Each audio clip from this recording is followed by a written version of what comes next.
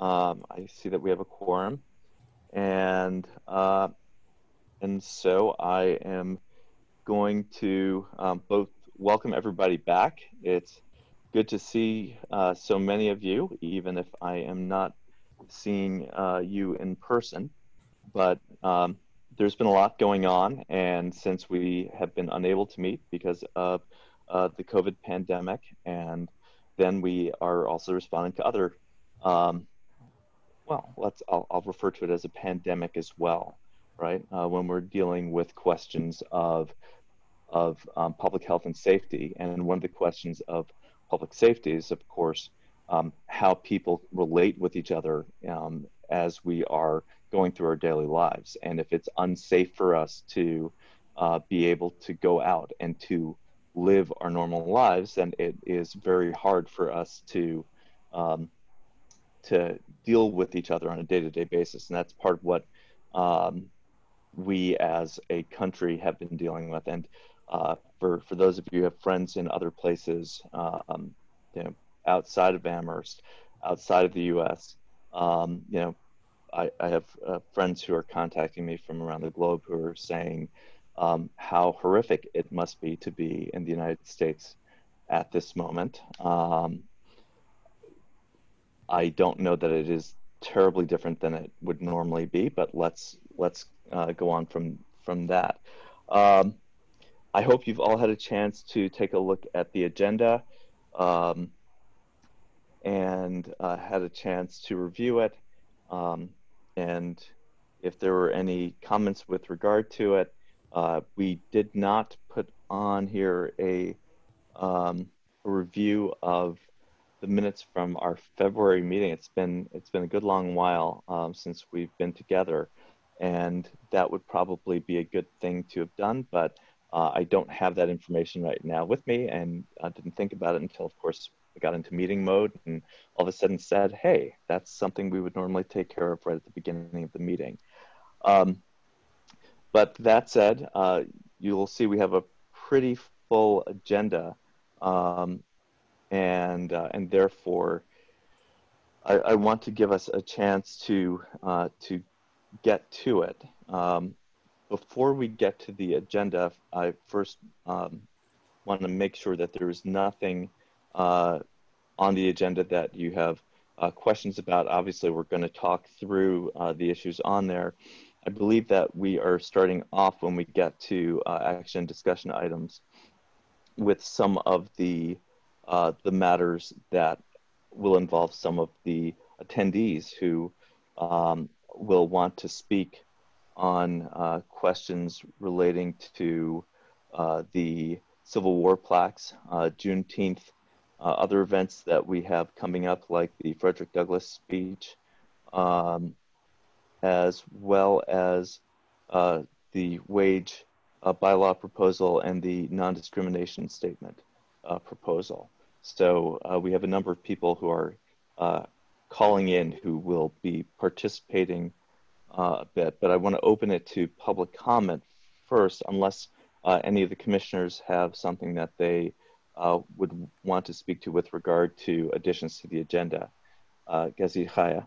I just wanted to make sure who's taking um, the minutes or the notes. That's a great question. Okay, thank uh, you, Deborah. Thank you, Deborah. I just, I rem, I only remembered after you began talking, like sort of three or four minutes into it, like, oh my God, I'm supposed to be taking notes. It's been months, but I think I got it all. Okay, great. Well, thank, thank you. you. Um, other uh, statements or um, remarks with regard to uh, things that that um, may have been errors on the agenda, anything like that, before we open it up to public comment for uh, a five minute period.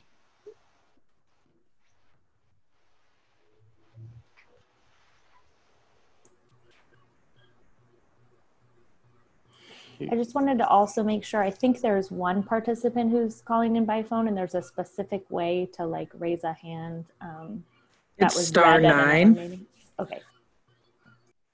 Um, so I know that Tracy wanted to speak under the public comment in regards to the resolution. So if you guys are ready for that. That would be fine. That is uh, with regard to the uh, non-discrimination statement. Um, and so if, if uh, Tracy Zafian is interested in speaking, we'd be uh, excited to hear. Um, can I also just ask for Tracy to spell her name? Oh, there it is. Okay, got it. Okay. Hi. So I don't know, I don't see my picture, but you can hear me? Yes. Yes, we can. Excellent. Oh. And um, okay, so um, my name is Tracy Zafian. I'm a 20 year resident of Amherst. I live in the center of Amherst, uh, precinct for District 3, and I work at UMass. Um, and so I uh, had been in touch with the chair and Jennifer a little bit before the meeting about a resolution that I had been working on with somebody else relating to um, anti-Asian discrimination and harassment. Um, that's something that we've been working on for a little while, um, since like the, you know, starting in April, but it had been talked about earlier. Um, Northampton just passed a similar resolution, and there's also ones before the US Congress with both the House and the Senate. Um, and it really came out of, you know, the conversations that we were having before, like all these recent incidents. Um, but they do relate back to the, um, like what's going on politically in this country in terms of blaming others, you know, blaming people of different color, blaming people of different race, ethnicity, immigrants, and so on. And so um, it was just designed to, um, you know, to just reiterate that we're a welcoming, inclusive community and that those types of incidents aren't okay in our community. Um, you know, there have been a few um, high profile incidents in Amherst, like including there was the PVTA bus incident in January where there were graduate students who were, you know, yelled at for speaking Chinese. Um, you know, there's also recently, I, I, mean, I know that I was definitely thinking a lot more about the resolution after there was a like a pro-Trump rally, which they had called the Chinese virus uh, freedom rally or something, you know, by some supporter over in Northampton. So, I mean, that stuff is just really offensive language and it really sets the tone. Um, Dr. Franklin Odo, who lives in Amherst as well, and he's an Amherst College professor. He also has a big history um, of doing, I know he had been in the Smithsonian, um, looking at Asian American history and so on. And, um, you know, he reports an incident where a student of his like felt so unsafe in Amherst that there were three different incidents that this Amherst College student experienced. And even though she had asked to stay on campus for the spring semester, she ended up leaving because she just felt so unsafe in Amherst. Um, so I was just coming with, you know, because this really falls under a lot of the types of things that the Human Rights Commission looks at. Um, we wanted, I didn't know whether the Human Rights Commission would be meeting. Like I know in Northampton, it didn't go to the Human Rights Commission because they weren't meeting because of coronavirus. Um, but we wanted to share it with you and get feedback if you had any. And then it would also go to the JOL, the GOL of the Town Council, the Governance Organization Legislation um, Subcommittee, and then go to the Council for a vote. And in, in Northampton, it passed anonymously unanimously, sorry. So um, if there's any comments or questions, I'm happy to try to answer them.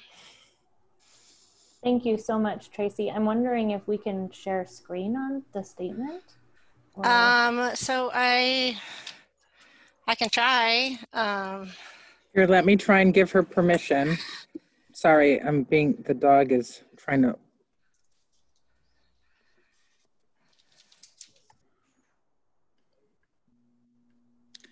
So Tracy, does it give you the chance to do it now? So it says, okay, hold on, share screen. Yeah. So can you see my screen then? Hold on. No. Okay. It just told me to share. It gives me a little, I'm trying to share the screen. Uh, hold on, let me see if I can. Uh, okay, here it is. Okay, can you see it now? Yes, so. thank you. Yay, okay. All right, so um, the language in this resolution, I mean, it could be tightened up a little, but I based it mainly on the Northampton one. It was just, you know, reiterating Amherst's history of looking at these issues um, and some of the negative language, you know, that's been used with Asian Americans. And I'm trying to scroll down, hold on. I don't know if it's gonna let me. And then, you know, just in terms of actions that could be taken in Amherst, just to, you know, make the statement. And, um, I mean, it's really about statement at this point, you know, in terms of, you know, recognizing the standing with the community and condemning all anti-Asian racism um, and sharing it with, um, you know, our congresspeople, our state reps and senators, as well as the people in Congress who've also been advocating for the same um, resolutions. Um, I mean, I will say that, you know, in writing it, I think, and this conversation came up a little bit at the council meeting on Monday, is that I really see these types of resolutions, just like the resolution related to George Floyd as like starting places and not an ending place, right? It's just to reiterate and set the stage and then to also come up with some more concrete actions to support these members of our community. So I had sent a PDF of the um, the resolution to the chair as well as to Jennifer. So I mean, they could email that around if that's something that people want to look at, or I could send it again. Well, no, I did. I did send it out. It- Okay. Yeah, that has been shared um, with the commissioners for Okay. uh, purposes of just knowing um, what what Right. we would be discussing tonight, not necessarily for uh, us to approve it per se um, Mhm. tonight, because uh, obviously we uh, are in a position where we could. Um, I, I think we can certainly discuss it, and uh, this is our first time meeting, of course, since February, and so uh, we haven't had a chance to uh, discuss what process we would follow uh, for for this kind of, of statement. But um, you know, I, I, I think it probably would go without saying that the Human Rights Commission is um, is supportive of anything that uh, would work against discrimination and uh, against uh, racial, ethnic, uh, other animus against any group within the town of Amherst and more broadly. So, um, so thank you for um, for speaking on that. We're we are going to speak to it further um, as an agenda item in just a little bit, um, but we have to uh, allow for um, if there's any other public comment. But uh, but thank you for the introduction. I think it's incredibly thank helpful you. for you to to um, to describe exactly the intent and and a little bit of the history of where this this is coming from. All right. Yeah. Thank you very much.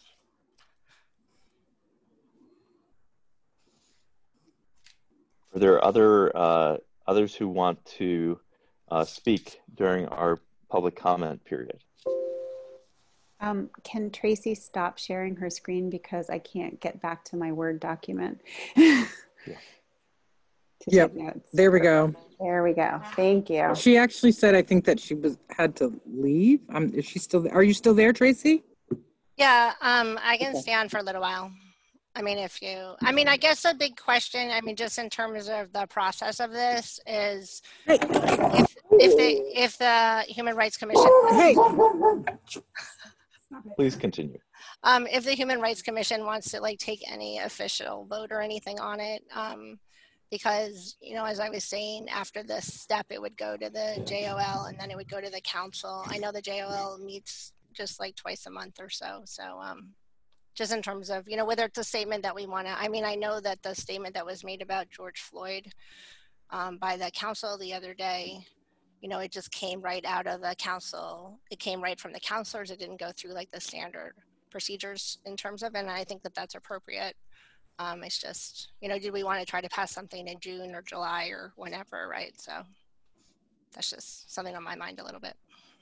Well, you know, I, I can just say first off that um, a, a number of us, um, just talking with other individuals, have been aware of this uh, this issue, and um, I don't think anyone appreciates any type of um, of animus of of hate, um, of disparagement of a group for no reason other than to score points with the political base. Now, again, we are an apolitical body ourselves.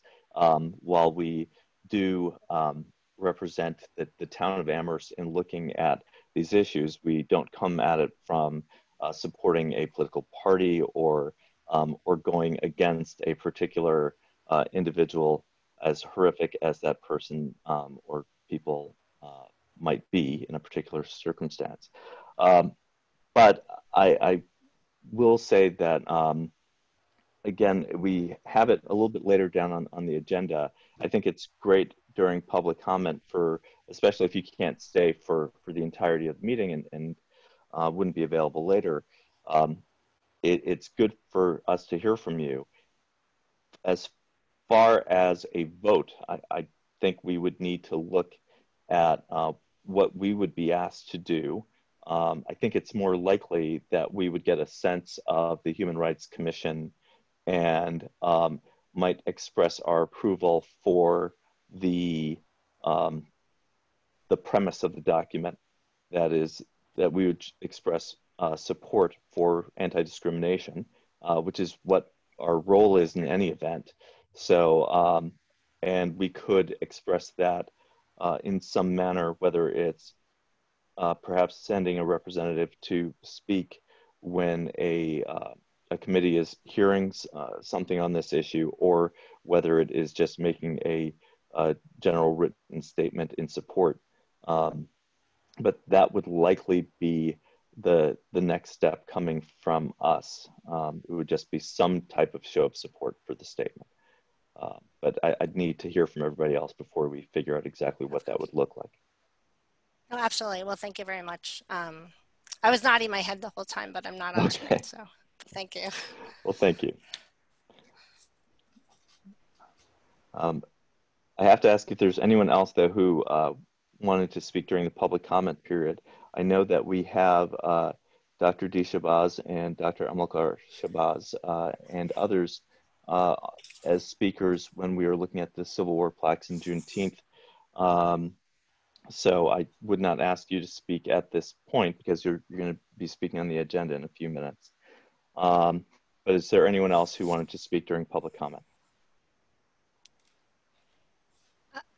I did hear that there, I got a text that somebody else is trying to speak on this during public comment. Yeah, uh, MP. Uh, who's MP? Um, her name is Megan Peck, and she's um, ah. she's so go ahead. and You can let her speak. Yes, please. Hi, could everyone hear me? Yes. Hello. Hi. Um, I just uh, stumbled upon this meeting, and um, I'm a my name is Megan Peck. I'm actually a resident of Northampton and a member of the Human Rights Commission there. And um, I'm here to hopefully um, say a few words uh, about um, how our resolution um, came to being. Um, I worked with a couple of our city councilors um, on the drafting of this. I am myself a member of the AAPI group and um, um, I there were two counselors who were who were interested in this issue following some informal uh, reports of harassment downtown of people who appeared at AAPI. Um, and this was shortly before the um, MAGA rally was um, scheduled to take place in Northampton.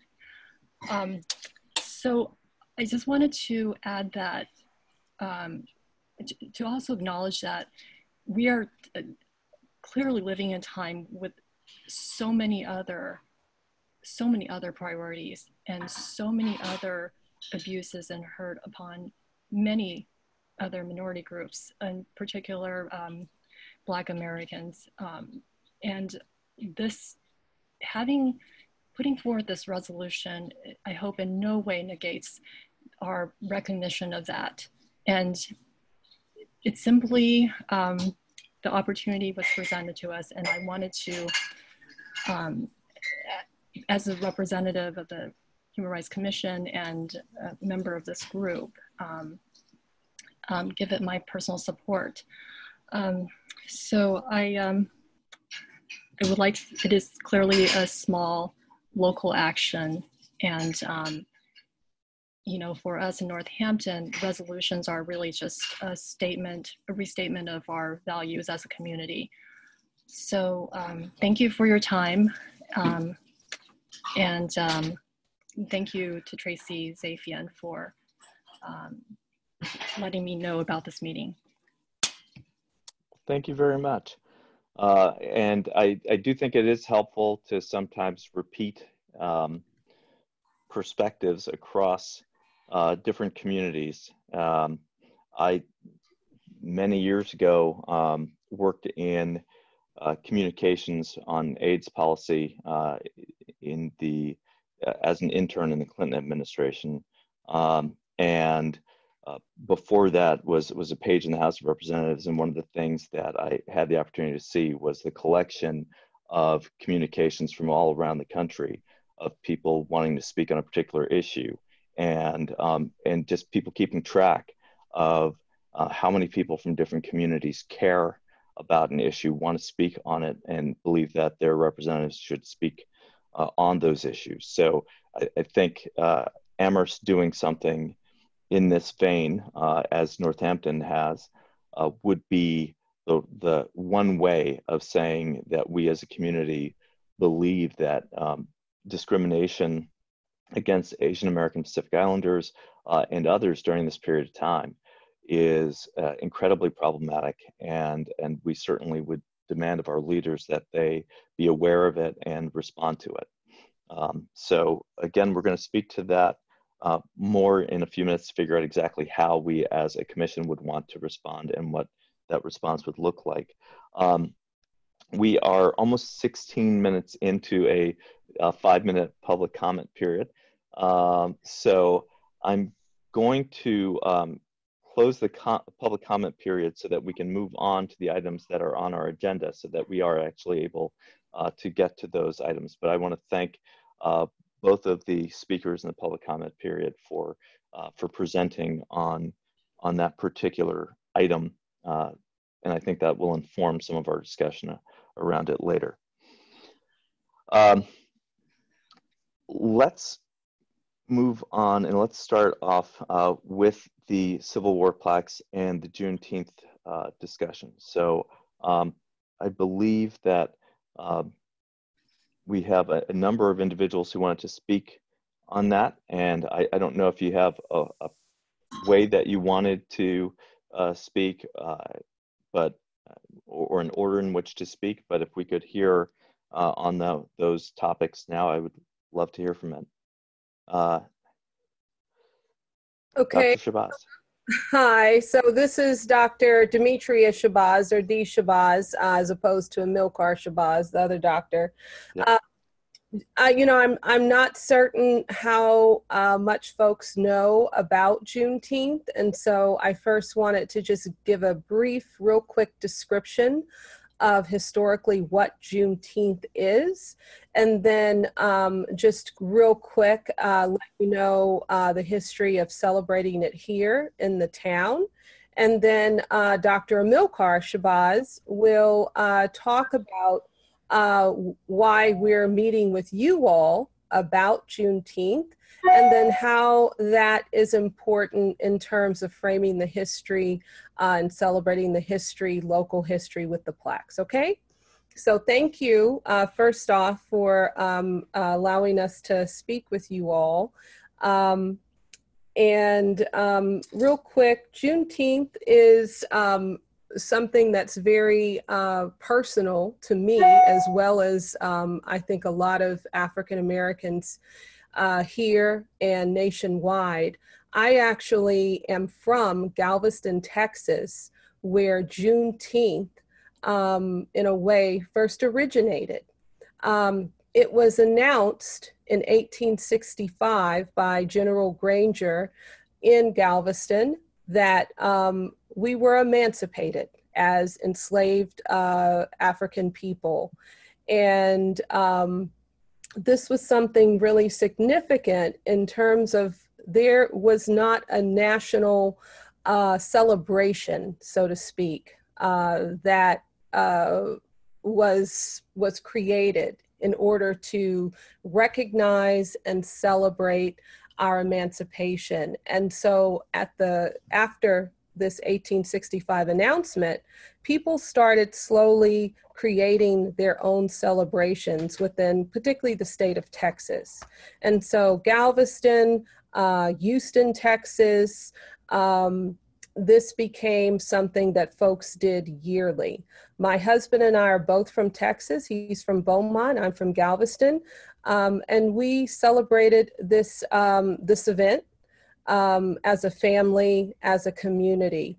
And when we moved here 13 years ago, um, we uh, ended up, uh, I guess, finding, so, so, to speak, the family of Vera Cage uh, and Ed Cage. And they were celebrating, um, creating a, a Juneteenth celebration. And so we join with them along with other community members to now yearly recognize um, this particular uh, historical event and to kind of celebrate it like our our Fourth of July, so to speak. Um, so um, I wanted to first let you all kind of know the history of that. That we have been celebrating this. Um, it's been getting bigger each year and we don't want to stop it, I guess, because of the quarantine and the COVID. I think in many ways we need Juneteenth. Um, we need Juneteenth now more than ever. Um, and so I want to now, I guess, pass it to my my partner here, uh, the other doctor, and then he'll uh, talk a bit about the history. Thank you. Um, so, ten years ago, uh, Juneteenth was started here in the Valley, here in um, Amherst by Ed Cage and uh, Vera Cage and others who worked with them. Um, it was held at Groff Park. Um, I went out there. In fact, I believe that's where I first met the met the Cages, and um, then we joined with them after that in uh, 2011, 2012.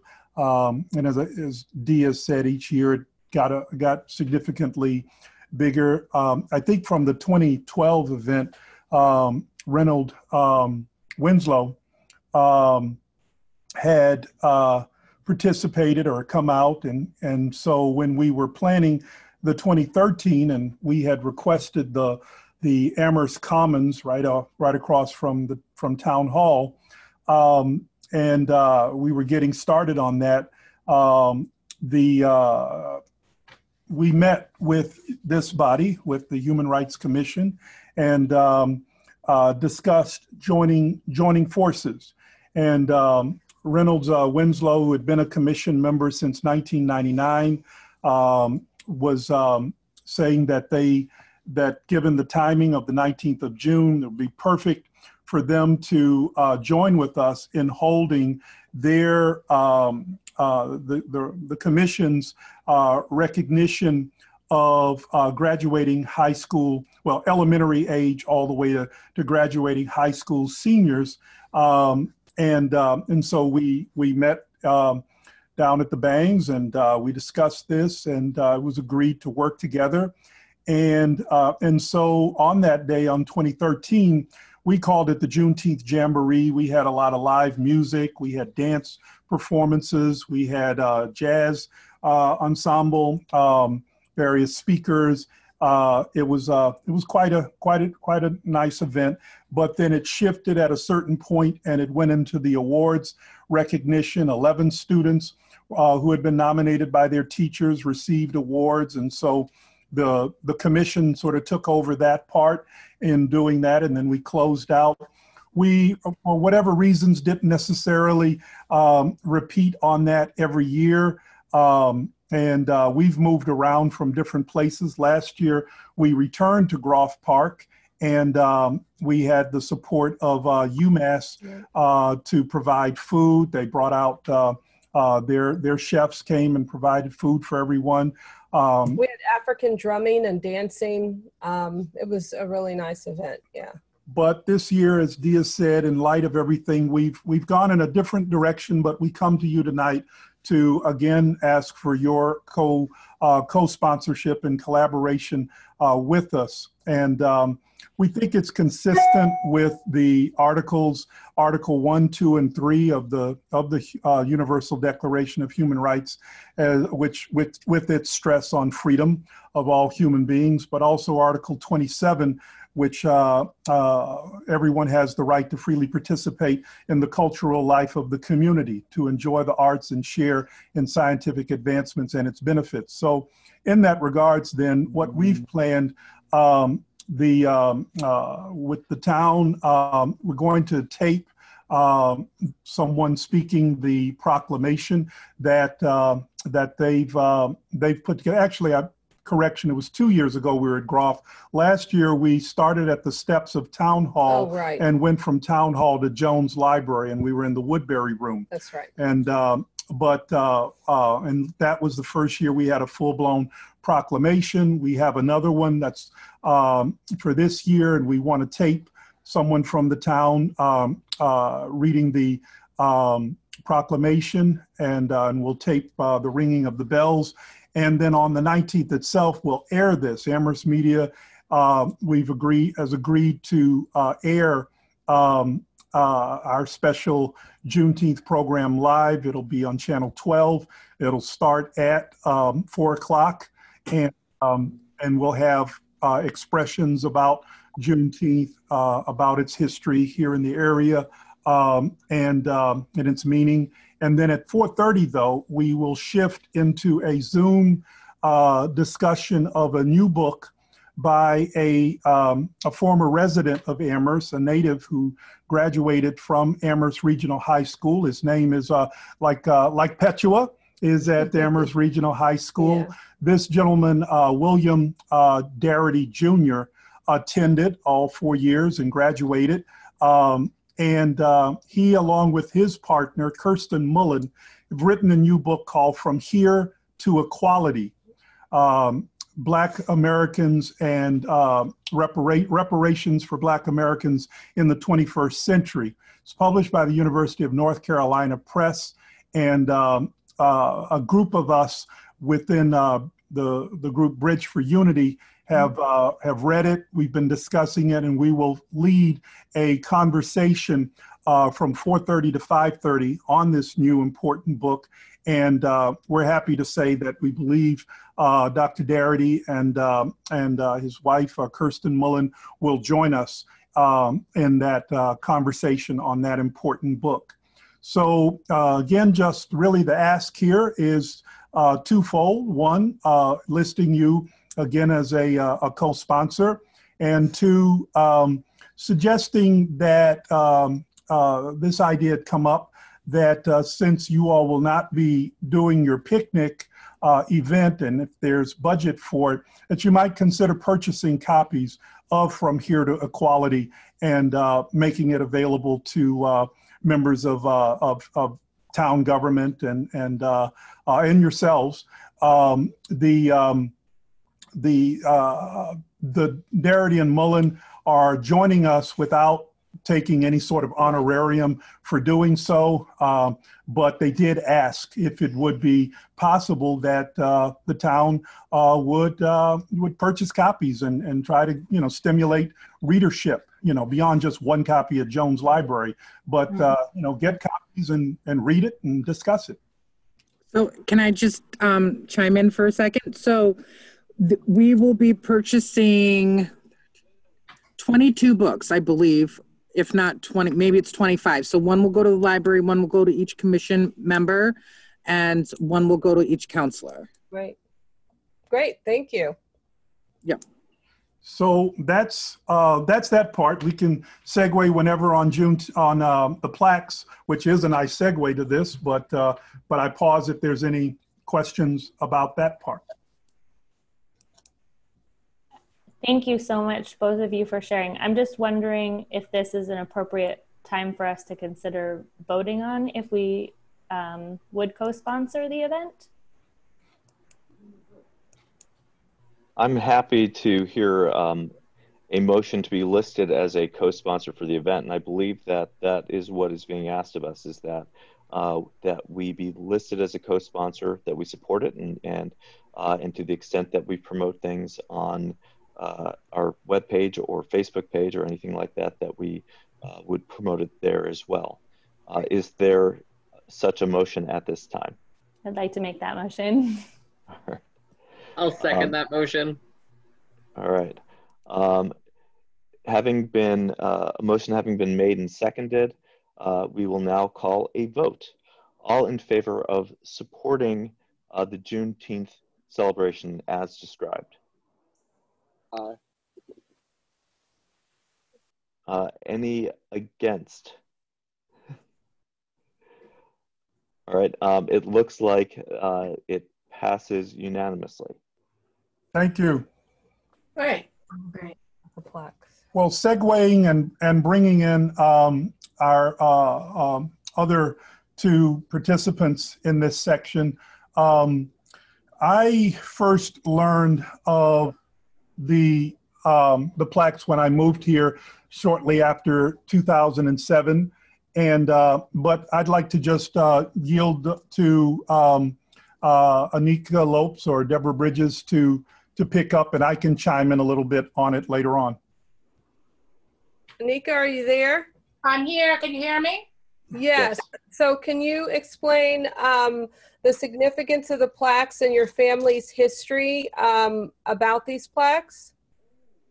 Oh, sure. Thank you. Um, I'm not sure how uh, much history, uh, background that you all have in regards to the um, the Civil War plaques, um, which include names uh, from soldiers from the 54th Regiment. Um, my grandfather, Dudley Bridges, had uh, first had interest in these plaques that actually came to the town.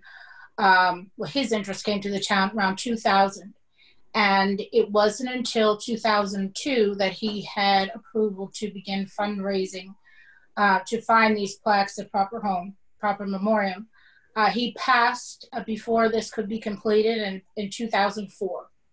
Uh, myself, I stumbled upon an article. Um, I'm originally uh, from Amherst. I lived in Brooklyn for decades. So when I came back, I stumbled upon an uh, article which talked about these plaques and how they were in storage. Um, so, of course, my first call was to historians, the Shabazes, and, um, you know, learned of what they knew about it, talked to some of my other uh, family members who had been involved with um, the Civil War, the graves that had gone into the West Cemetery. Um, and uh, just response lately and talking with the historical committee has been uh, people are seem to be excited about it, and um, you know we're happy to move forward. I'm extremely grateful for um, expert input and involvement, like um, Mr. Shabazz, Dr. Shabazz, who has um, more in-depth information in regards to his experience with the town um, and ceremonies that have been held. Um, but it is definitely we are in works on our proposal to have these really up and moving in hopes that they're not only celebrated, it's um, actually more important maybe now than it has been in some time to get them up, but also in hopes that it will lead to other cultural art installations um, around the town to really represent the diversity of this town in addition to Emily Dickinson. So if it's okay, I'd like to hand it back to Dr. Shabazz. Real quickly, Jennifer, was the um, were the articles shared with the commission? Yes. Okay, great. So I, I think it's mentioned in one of the articles, um, if I remember correctly, that the Bridges family, it, is it correct, Anika? Uh, you you all go back at least five generations? Well, yes. So my my great grandfather was also very passionate about this. My great grandfather was Gilbert Roberts, um, who was born. When was he born? 1896. He was born in Amherst in 1896. His father as well before him. So what's what's important about that? And thank you. Um, that was Deborah Bridges, uh, her mother. Um, that you know, this is a family, uh, uniquely an African American family that has been here over five generations. And um, they are the embodiment of uh, local history. And so her grandfather putting in the time and effort to actually help um, preserve these plaques uh, and help restore them uh, is is particularly important for the history, the the whole history, right, and the whole story and narrative of this community. And there are few to none in terms of spaces and places that African Americans can claim historically in this town. That there's an actual space where we could go and say, you know, this this is our contribution. Uh, certainly, there are places. There's a whole neighborhood um, of uh, you know that was uh, populated mainly by African Americans at at one point. Um, but in terms of uh, the, the history and contributions being recognized in a very public way and shared um, with this community, there there are none really. Um, so, you know, these plaques are monumental um, in in several ways. They're big, um, but they're they're monumental in terms of the story that they tell. And um, the historic commission is um, you know the it's going to come before the historic commission to get um it's been before this it's been before the historic commission um to get uh you know try to figure out where are these plaques to go and so we see it as a part of the story of Juneteenth. We see it as a part of celebrating and recognizing the history and contributions of African Americans within this community. And so, therefore, I, I and my husband um, also see it as something that the Human Rights Commission um, uh, I feel strongly should take up in some way. And so I hope you um, will be convinced to feel the same. And as this works its way through the historic uh, uh, commission and committees and the town government in terms of where to place these, um, these monuments to um, African Americans who have sacrificed their lives uh, for this country, um, I hope that the Human Rights Commission will support it and help as the as these as the permissions uh, and this discussion progresses through the town. And I'll just uh, jump in to say this that um, you know projects to make it through uh, to completion, anything within the town needs a champion.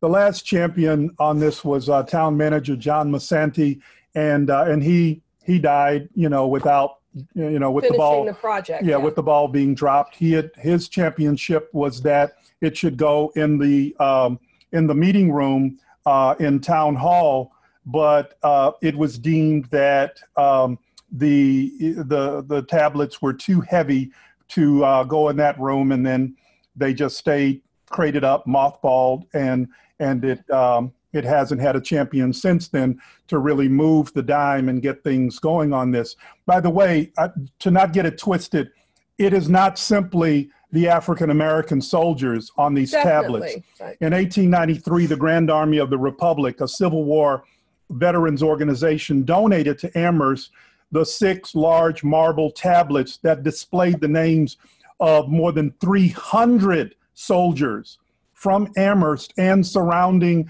Hilltown communities who had enlisted in the Union cause on, on, uh, uh, on behalf of the citizens. Uh, among these were about 21 black soldiers, uh, soldier fathers, sons, brothers, uncles, and nephews from this area who enlisted and served in the 54th. So the 21 African Americans are there, but it it, it recognizes the contribution of all 300 plus soldiers from this area, regardless of ethnic or racial background, uh, are, are, are, are, commemorated uh, for their uh, sacrifice and for their uh, um, you know uh, participation in that uh, in that great great conflict. Thank you. Um, you know, I, I think it's it's important to recognize different voices that have been a part of Amherst history uh, throughout Amherst's history. Um, you know, one of the things that that is always tricky for me is looking back at celebrations of of lives lost, um, and I think that's important. You know, there's there's the counterbalancing of celebrating those um, who who die in battle, um, as opposed to other other voices. Um, so uh, recognizing the heroism of war, um, which is when you don't have a choice, when uh, there's a draft, or when you're fighting a, a just cause. Uh, I, I, imagine that there are many people who would argue that that is the appropriate thing to do um, to celebrate those lives. To the extent that um, you know, there's a habit of having um, you know memorials to those who have fought in wars, regardless of what side they fought on. Um, you know, and, and we see this at educational institutions where you recognize uh, people who have um, participated in any conflict, uh, and particularly places that are old enough that they have people who have fought on both sides of the Civil War, and and when they recognize both, that's that to me is an issue, um, and is not a good thing to do. Uh, but uh, I, I, think for this one, we would need to have a little bit more knowledge on what's happening um, as it's going through the process. What would be a, a supportive way to make sure that that aspect, at least that aspect of Amherst history, does not get lost um, in the process of the removal in 1997 for the cleaning, I think it was, and it was supposed to go back up, and then it just didn't ever go back up. Uh, and, and there were plans that were drawn up in 2003. I think it, it, it uh, the material we, we received said. Um, so there's definitely uh, at least appear to have been an intent to maintain that. And uh, for whatever reason, there the choices made by town governments between that time and now have not carried through that uh, that anticipated maintenance. So um, you know, as as it's going forward, I, I, think it would be good for us to stay informed. Uh. Gazit Chaya, you had something to say. I'm just wondering, um, Dr. Shabazz, are we aware of any other families that have direct connection to any of the other 300 names mm. that may still be around in town?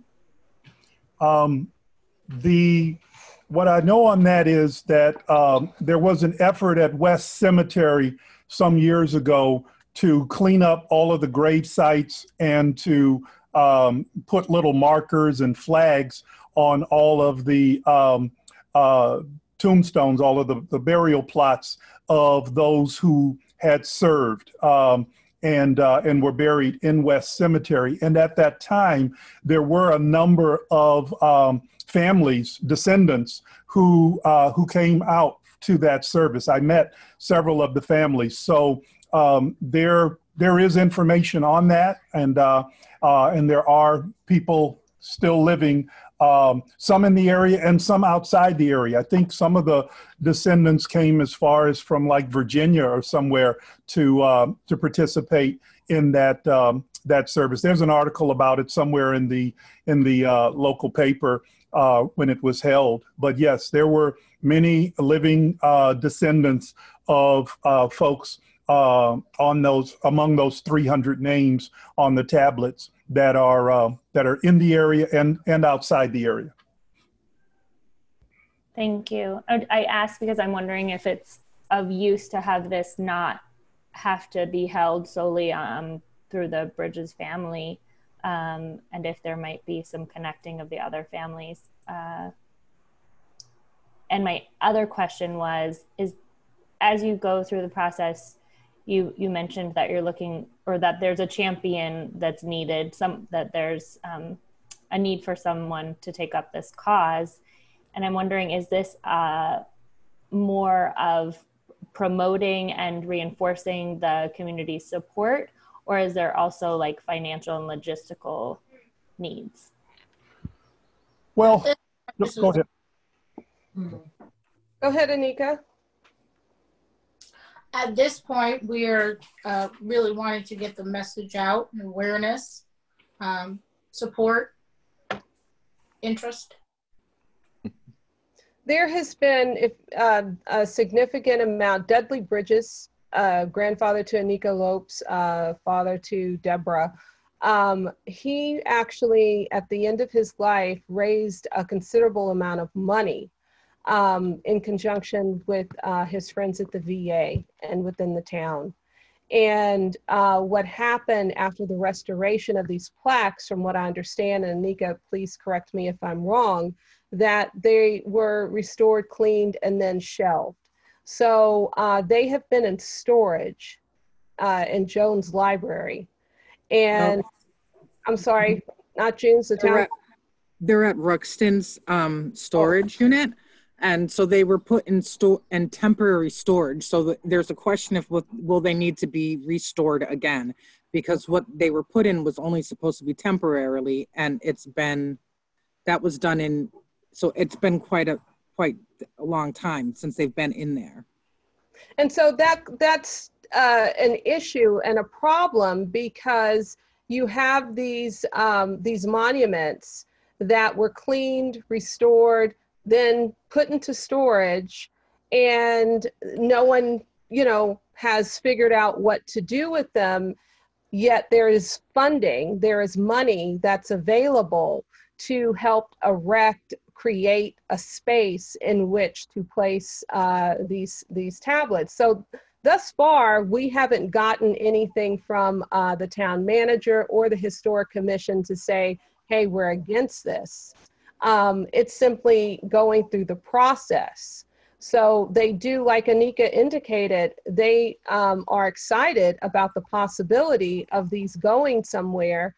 But, you know, as, as my husband indicated, there needs to be some community support around the placement and how they are to be displayed. There is funding that was raised, and the money is just sitting there. So it's not like we're asking even for the town to put forth more money. I mean, I, I so where Go Mhm. ahead. There's thirty-five thousand dollars that was um, gifted by the community CDBG, like the historical part of the CDBG committee commission. Right. So I don't. The money that that came from Mr. Bridges, I'm not quite sure where that is, or if that was used in the original um, restoration or not. Well, I also note a, a news article that looked like about fourteen thousand was wasted at some point on some some architectural firm to to make some kind of evaluation that again went nowhere, went went into the trash basket. So you know we don't want that. We don't want more money wasted. We want a champion that can help us figure this out, um, establish a good, visible place uh, for this. And by the way, three members of the Dickinson family uh, are on the tablets. Um, so you know, if there are any descendants of the Dickinsons, um, you know, they they're they're a part of this too. Um, now, Jennifer, you just mentioned uh, the a community development block grant uh, at some point, thirty-five thousand dollars, but uh, we're also hearing that a component of it, uh, fourteen thousand of that at least, was spent. Or, or are we talking about different That's pockets, different pots of money currently now. currently in it? I see. Yeah, So that was voted. more. Yep, and um, the former planning director, not John Thompson, sorry, I've come to a loss in names, but he was spearheading it and then he retired. So he was starting to, to make movement on it again, but then he retired. So once again, we're back here. And I saw Benjamin on who is works in the planning department, but it seems like he signed off. I was hoping maybe we could get some information from him as well as but I do know that the local historic district commission is very excited to have this to start to move. So yes, we would like to keep it moving and not have it fall back again. There was questions about where to put it. So the li- it doesn't necessarily work in the library and it doesn't necessarily work in town hall. I personally think the North Common, if they could figure a way to have it outside, would get the most views that way, or even across from Sweetser Park before the Emily Dickinson. There's a there's town property right in there. I don't know that it would get as many views as it would get if it was in the North Common, but they're also redoing the North Common. So perhaps that can be tied into the plans of the reconfiguration of the North Common. Yeah, one of the other things I saw in in the description of the stone itself uh, is that uh, things such as human sweat and whatever else that that it really does need to be taken care of. Uh, I don't know what that means as far as both uh, placement as well as a study for the proper preservation of uh, the the tablets over time. Um, and so, uh, you know, I, I I think one of the things we would like to know is is what the um, investment that the town wants to make in recognizing that aspect of its history because um, from the information that we've received there appears to be some degree of, of maintenance cost that would be required over time, particularly if it were outdoors and not kept away from where people can touch it. Uh, so that's that's something that I, I, think it would help help us all as we're trying to figure out um, how much to push. Uh, and we also haven't heard uh, because we haven't met since February, and we know that there's unfortunately a lot of of cuts that are going to be made, a lot of tax money that isn't going into the town um, over the last couple of months, and that there's a lot of uh, cost cutting that's going to be happening with regard to education, uh, with regard to employment. Mm-hmm. That it it um, is a concern.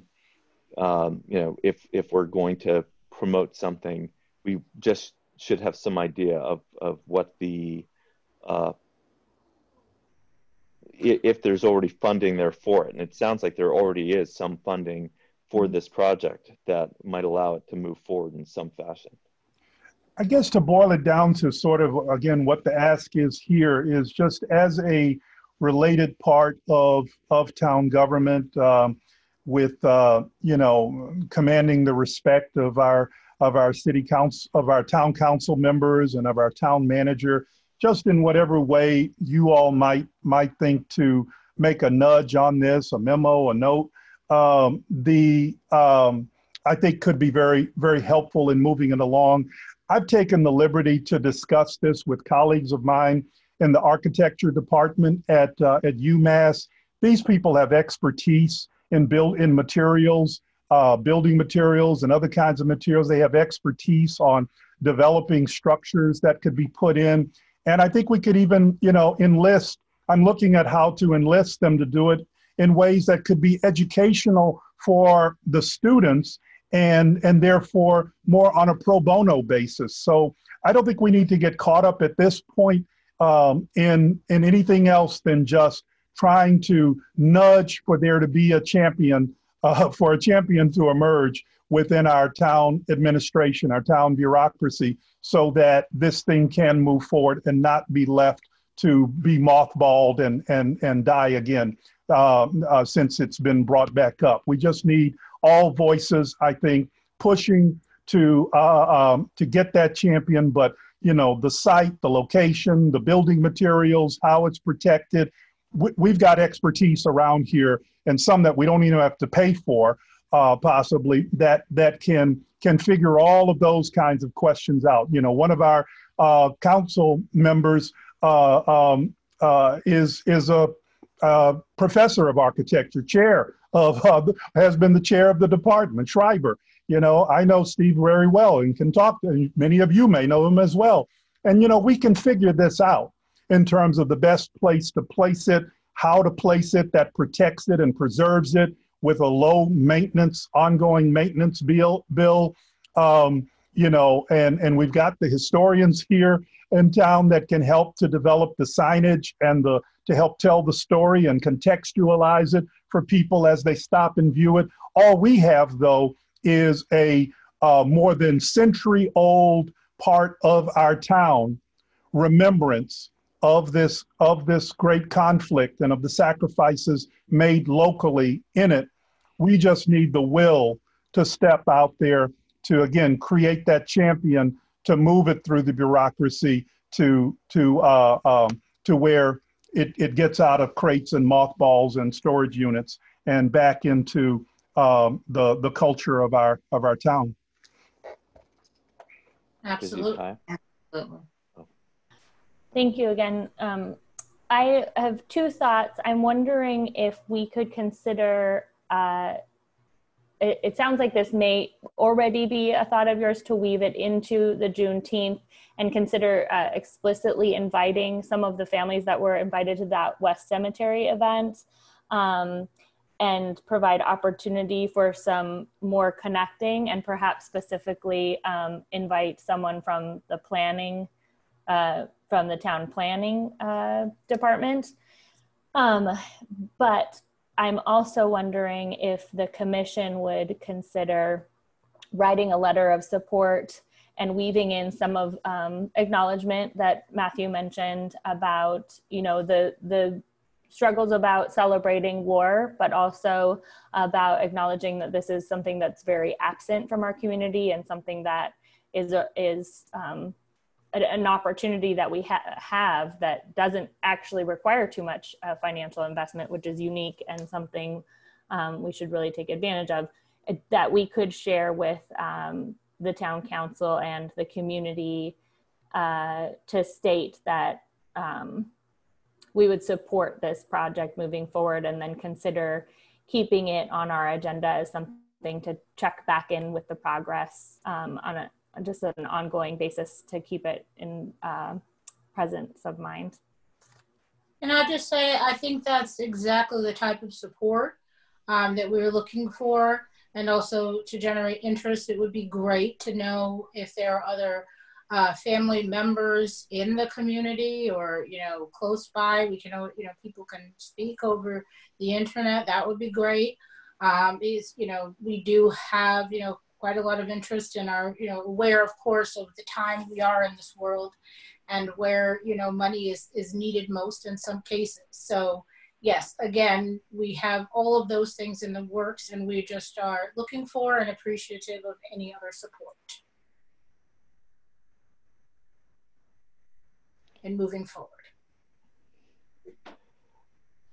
So I'm I'm not sure though if we uh, received a a uh, if if that was a motion um, for a a statement, and if so, um, who we are tasking with drafting that statement in the first instance, and then whether it's coming back to us to approve the statement uh, at our next meeting.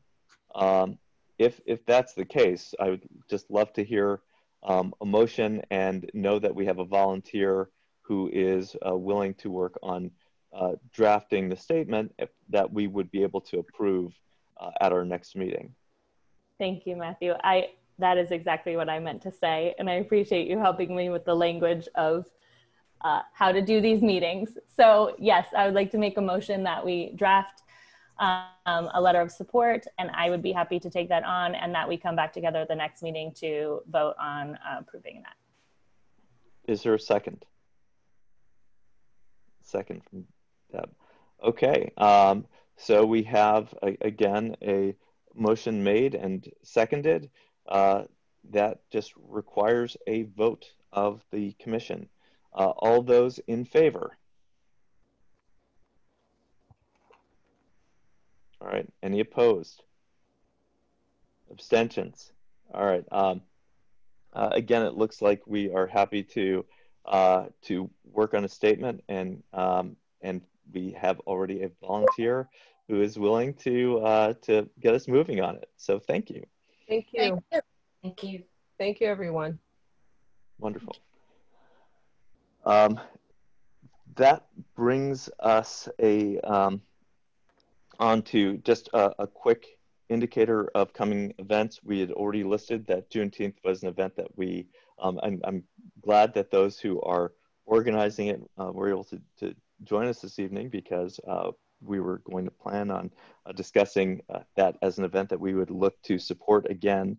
Um, uh, we've also received notes from uh, those involved with Citizens for Race Amity now about supporting Race Amity Day. That is not going to be a an event that is being hosted within the town, uh, but instead it was just a question of whether we could notify about a statewide uh, event that's going to be happening on Zoom, all all electronically, and uh, whether we could.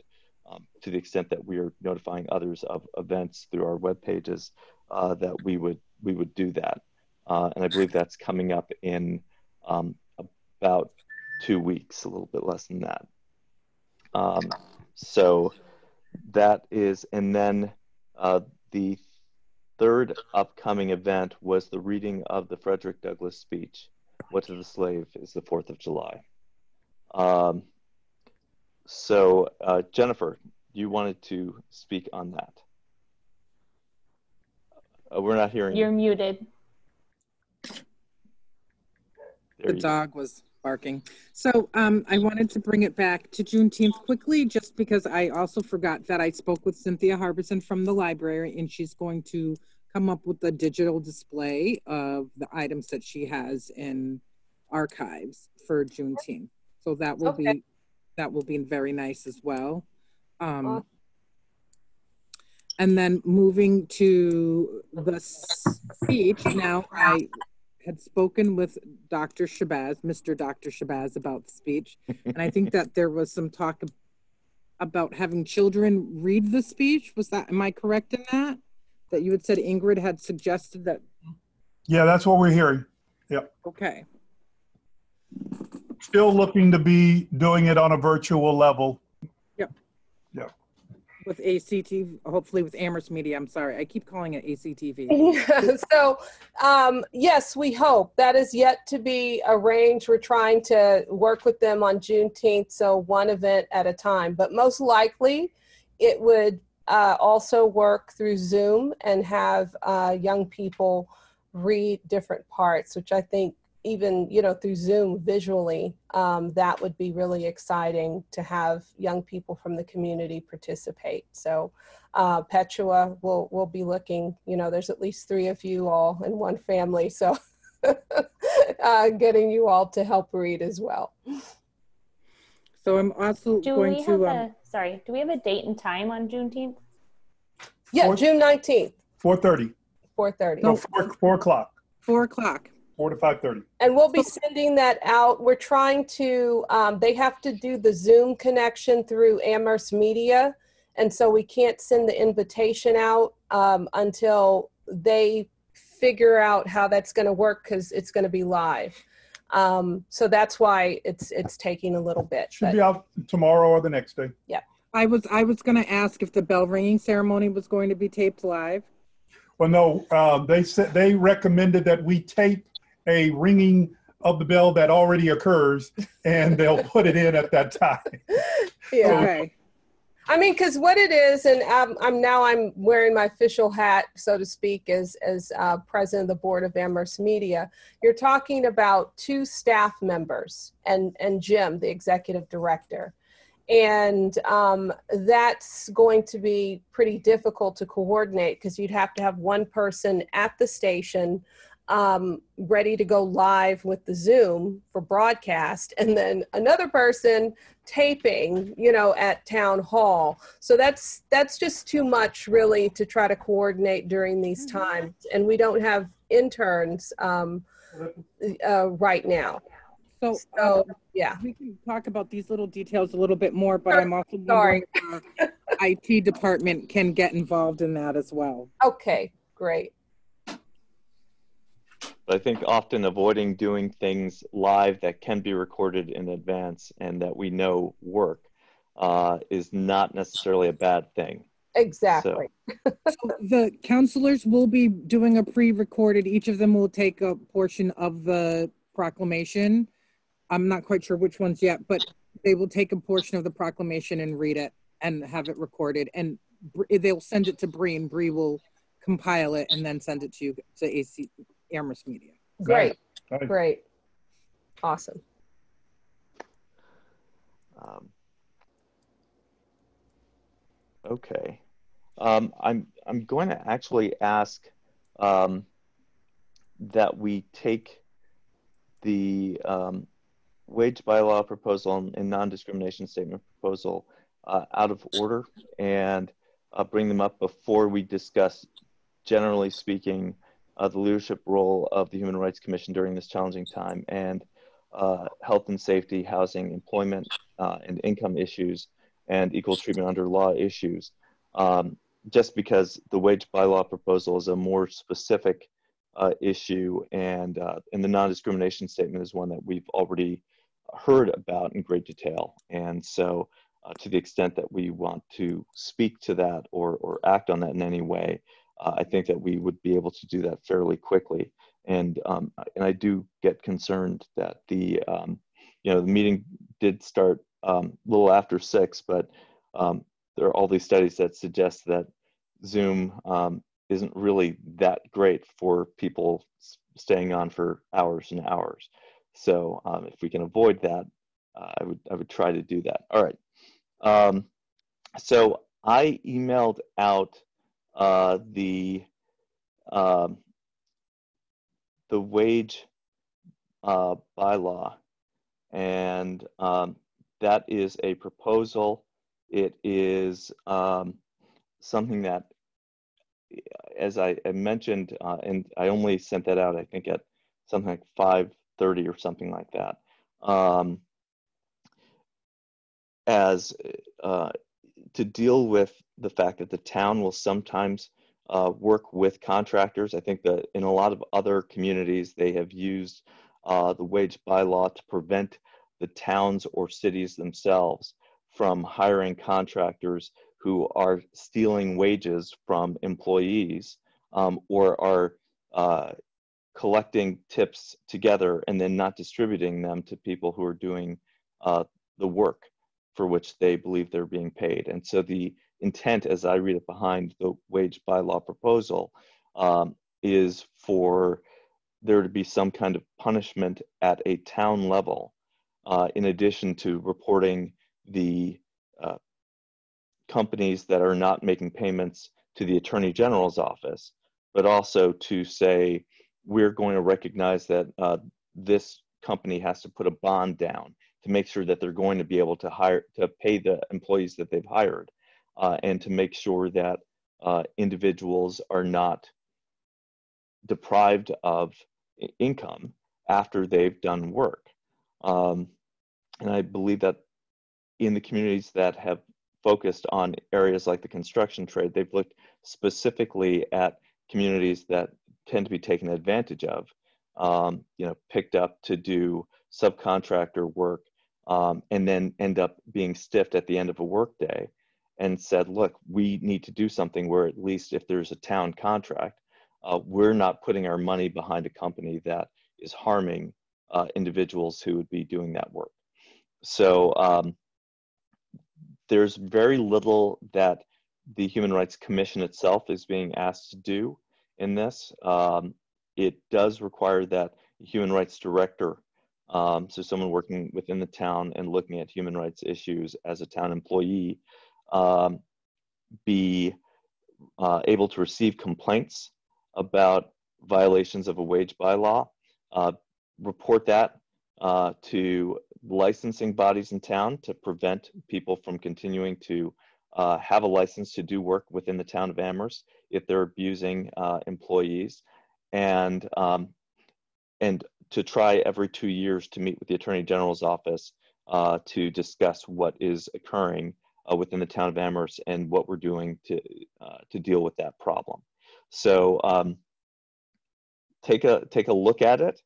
Um, it is again something that is um, going to go before the town council at some point, and I believe the town councilors who uh, who reached out wanted to know that it would have the support of the Human Rights Commission.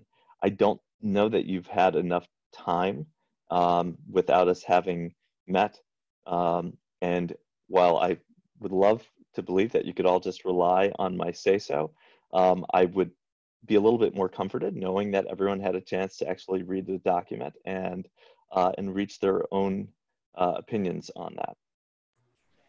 Jennifer. You got to unmute yourself, Jennifer.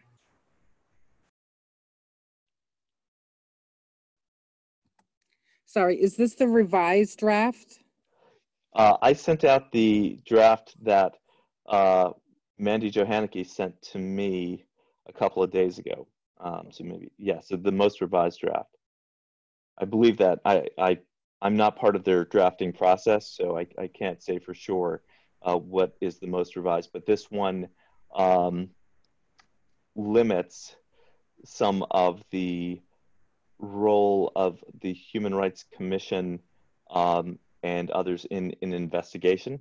uh, one of the things that a lot of people th think is a good idea in the first instance is that a body like ours investigate complaints um, without realizing that such an investigation would be a public uh, investigation and that uh, as a volunteer body that um, meets once a month, we aren't in a position to uh, to jump on investigations and to to work them very quickly.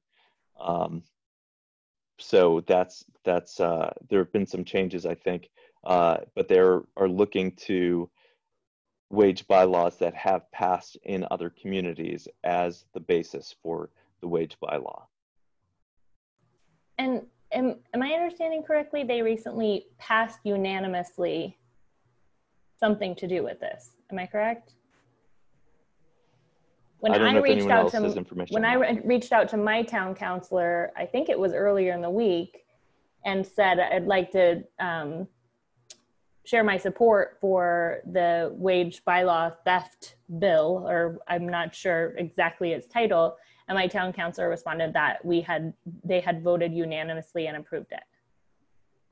I had not yet heard that. Um, and so I, I, would find it surprising for them to reach out and ask for us to discuss it at right. this meeting if, if that vote had occurred. But, you know. So maybe I'm misunderstanding. Has, maybe it was a part. Well, it has a double pre- double process. So it has to go to G. It goes. to starts in. I think they started it in GOL, and then it goes. GOL presents to the council, and it gets approved, and then it goes back if there's any changes that are needed back to GOL.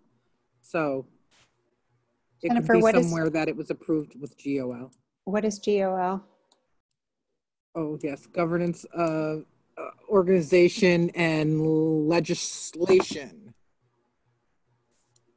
I'm sorry, they have a lot of those and I, it's. They have so, yeah, the alphabet soup there. I have May 28th about the Amherst wage theft ordinance um, from Darcy DuMont. The Town Services Committee last week voted unanimously to support the proposed wage theft bylaws. Now the proposal has moved to Governance, Organization, and Legislation Committee and to review by the town attorneys. It will then it will move to the full council for a vote, hopefully by the end of June. Yep. Okay. Yeah, um, I, I think I announced back in September that uh, one of the town councilors had reached out um, over the summer and said that there was a possibility of of some kind of wage bylaw um, being looked into, and um, and I didn't receive any. Um, uh, I don't believe I received additional information up until about uh, another few weeks ago. Um, so I'm glad that it's moving forward, and it's something that people have been looking at for for a good while now. And who's the staff person that's going to be contacted since we don't have a human rights director? So uh, it would have been Evelyn. Evelyn is leaving, so it'll most likely go to uh, uh, Paul and or myself. Yep. And what are they asking of us? Um, again, the uh, there were two components to the Human Rights Commission's role. One was just that we could engage in uh, in community education on on issues of of uh, wage theft, right? And uh, and the other, whenever you say two things and you know you're going to forget the second, um, the other was. Um, C and D. Uh, let's see. That the um,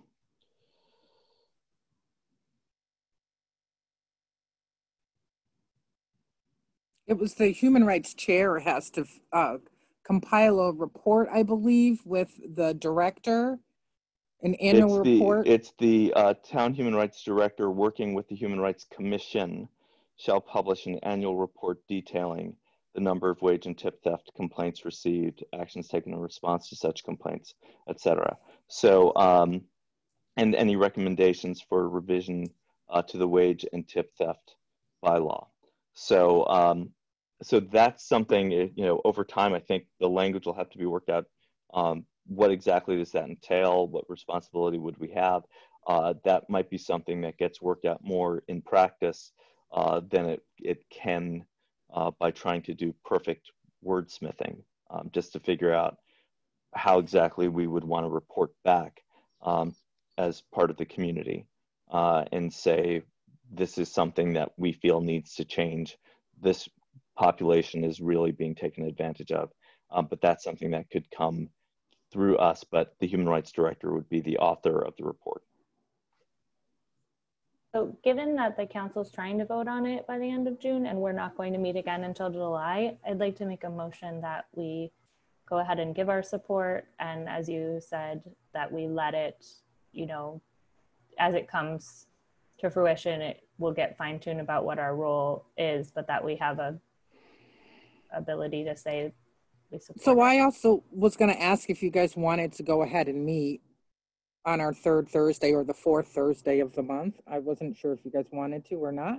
There's just a lot going on right now, and we are down to the last half hour of our meeting, and we haven't gotten all the way through the agenda, and the next items up are pretty important. So I just would like to know how you guys feel about that. I mean, I, I for one, um, would be okay with, uh, would be excited about a a check-in at the very least um, you know to see if there's stuff that we can be responsive to and thoughtful about uh, and help the town on. And and i also like seeing all of you. So there's that too. Um, so i i would be up for that. I don't know if everyone else um, feels the same way I absolutely do. Are we talking about the 18th or the 25th? I'm okay with either one of those. I just, it's up to you guys. Can you bring him in the house, please? Well, I think if it's the 18th, then we would have one day to check in about whether there was any further needs regard, you know, for the Juneteenth. So it might be strategic for us to meet on the 18th. I'd be fine with that. Uh, okay. And I also think that that would, um, before the the academic year officially ends, I think it officially ends for the Amherst Public Schools on the 18th. On the 18th, yeah.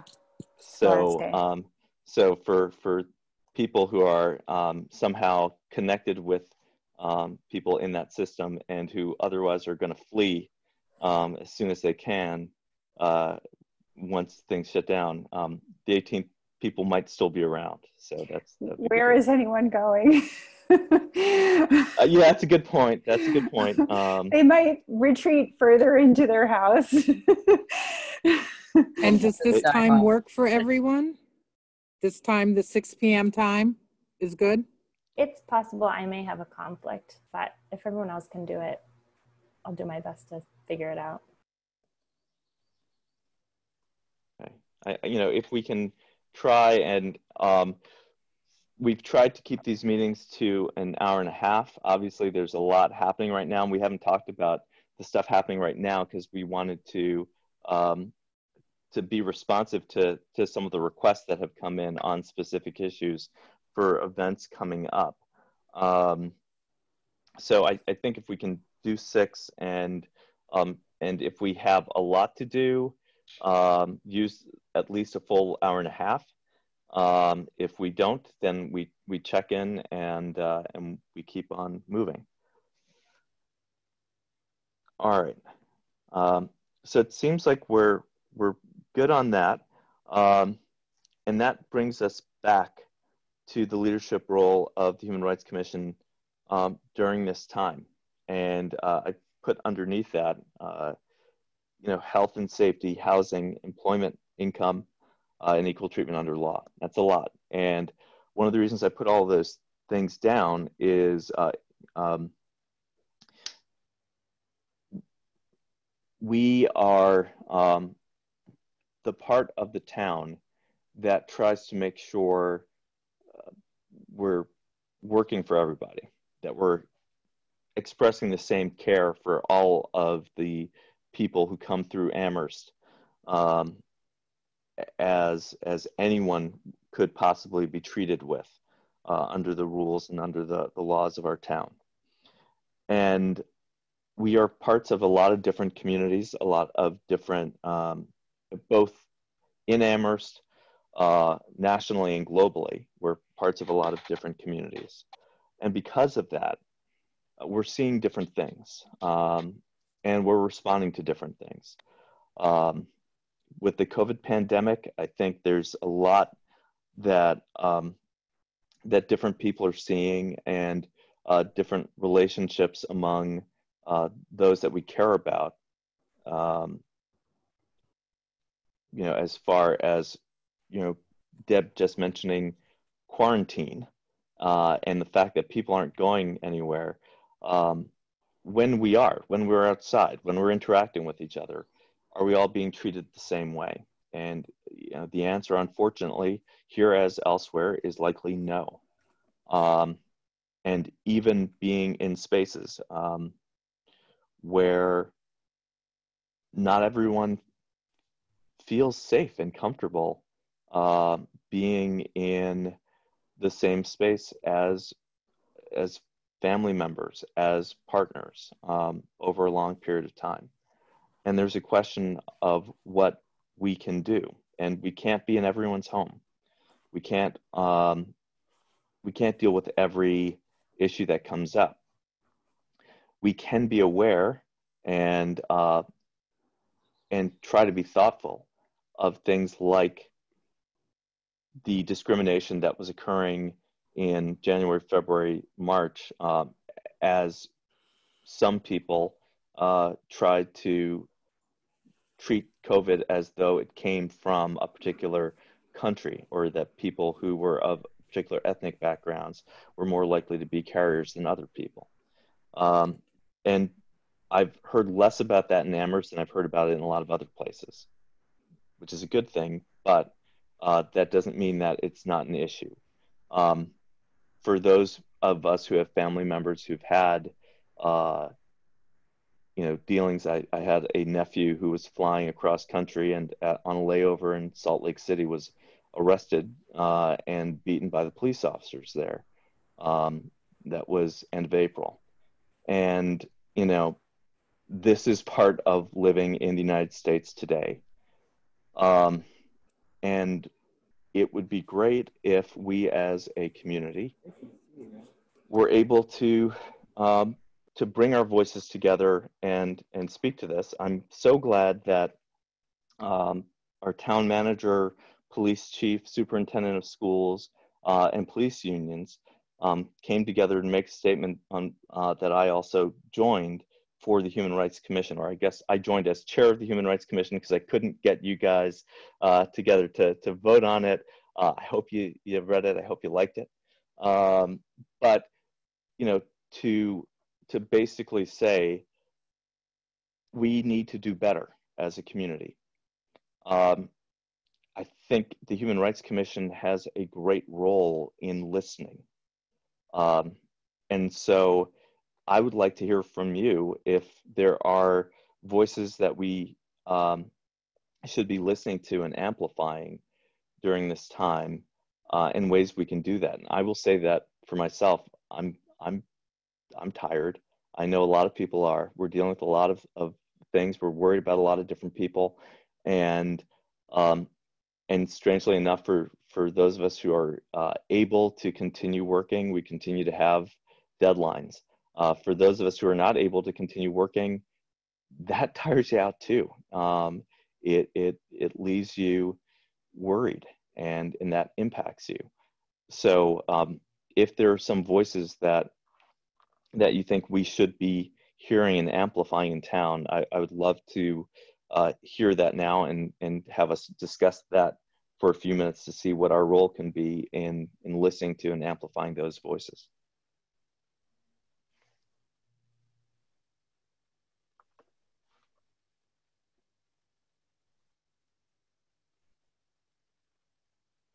Um, I guess I'll go first. Um, I think as a young person, I think that uh, with social, like social media, especially the like hyper exposure to everything that's going on, and like with around the country in in like Northampton, Boston, all like all like how um, how this is affecting like the whole country is like it's a huge moment for I think a lot all of us, but I feel like especially for the youth who are often at the forefront of like movements that occur um, nationwide or internationally and all of that. I think it's really important that we as a community help inform the youth and like just like guide people guide us uh, the young people to be able to um, like express their like grievances about what's going on but also like like be able to feel like they have power in their in the amherst community to make change whether that be in their schools or in their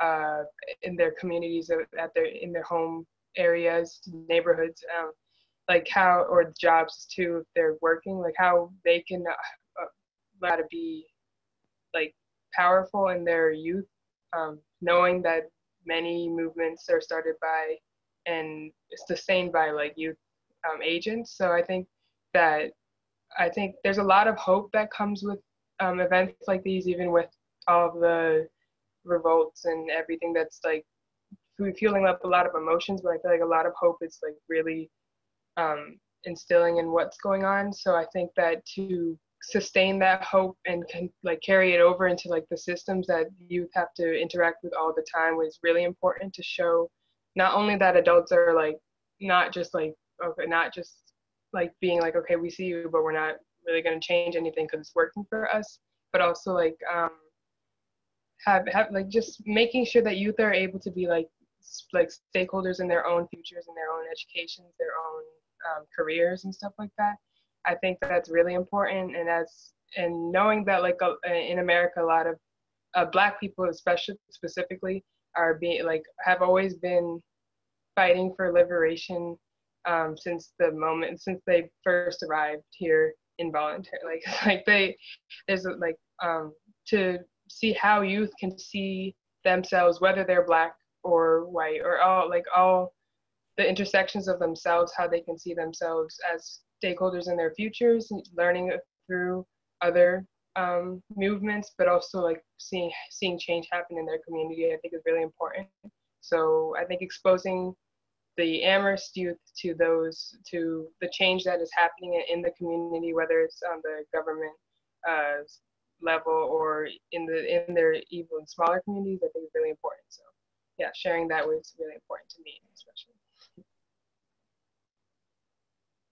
Thank you, Petra. I'm wondering, do you have um, an idea about what type of an event or um, uh, or an effort would be something that would feel um, accessible and welcoming and um, affirming to youth specifically?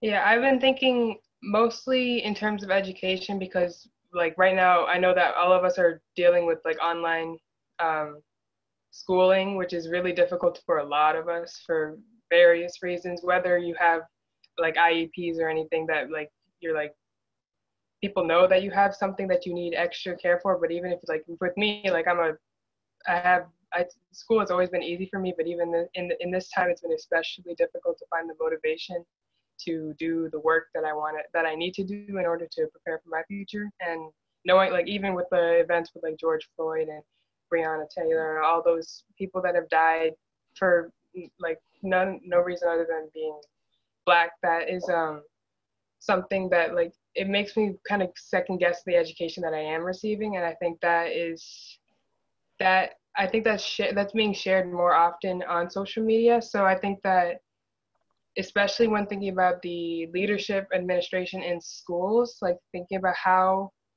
either to affirm to students that their education that they're receiving now is important, but also like taking a look at what the education they are receiving and how that's preparing them for the world that they're entering or they see every day. I think that there needs to be a collaboration between um, leadership in education and the youth, and also um, just I think social media is a really good fa- like tool, especially with youth all the time. Like Instagram, you get those posts all the time. Snapchat, you have discussions all the time, and it's it's had their positives and negatives. But like having an event where um, students can like just share their experiences in the community. And these can be like even people who have graduated from the high school and like have their own experiences so we should like so we can know what our school is like what our school can be too. I think that would be really great. Um, and then also like the transparency with the administration how how like what exactly are they implementing to combat the white supremacist like structures that are in educational systems across america and specifically amherst i think that transparency is really important. So i think transparency with leadership is important and then conversations among the youth um, that are guided by like the human rights commission like wanting us to share our voices what, whether we do it like with the artistic approach or videos or like if you want to do something sports like using your own talents to express how you're feeling what i think was really important um, so yeah that would be cool well, I, I want to pose a question, and, and, this is to everyone.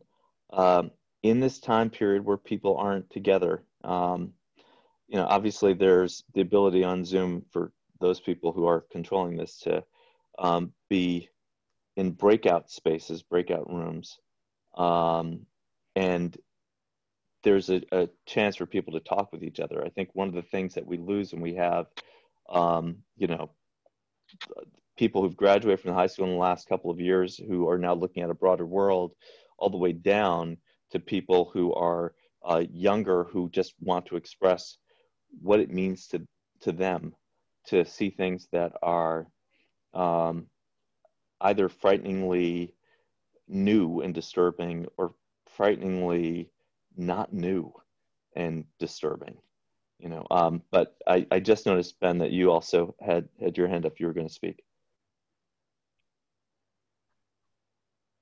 Yeah, so so the question posed like what voices need to be amplified? In Amherst in the Valley in general. So I, so I was part of this men of color conversation yesterday within the school district, and yes, we were talking to the men of color who are in positions of leadership within the, the district, but the voices that don't get heard here in the Valley, like the the the, I guess there's a frequency situation here going on where there's there's this deafness to this certain frequency. Black voices, African American black voices. Specifically, we don't hear a lot from from young black men out here about what they're going through. And yet, when I drive through town, those are the ones that I see that are dealing with the, the, these situations. Yes, they affect other people, but it's different when you're looking at like like a George Floyd situation and you see that oh wow, that's the same. I'm the same target as that person. Those are the voices that fall by the wayside consistently throughout the valley, and specifically in Amherst. And then all of the the black voices in general. But I'm saying like there was that there there because there was like a general sense. I mean, there were it was well attended yesterday, right? Online and socially distant, but very well attended. And there was the the, the consensus there. You know, not one person disagreed with that point right there. And, and so, so action, right? So you have, you have the cause and then there's the action. What we had started to discuss was the idea of having like forums, like the, the, the first, the first one that I was, that I'm willing to put together and participate. And I guess I, I would welcome the commission and other folks, but around Father's Day, we're to do like a but it's, it's to be a discussion between black fathers and black sons, not necessarily between me and my son, but you know, getting a whole bunch of folks together that, that don't feel like they're heard, that need to feel like they're that they're being affirmed, you know. So that's that's my soap opportunity.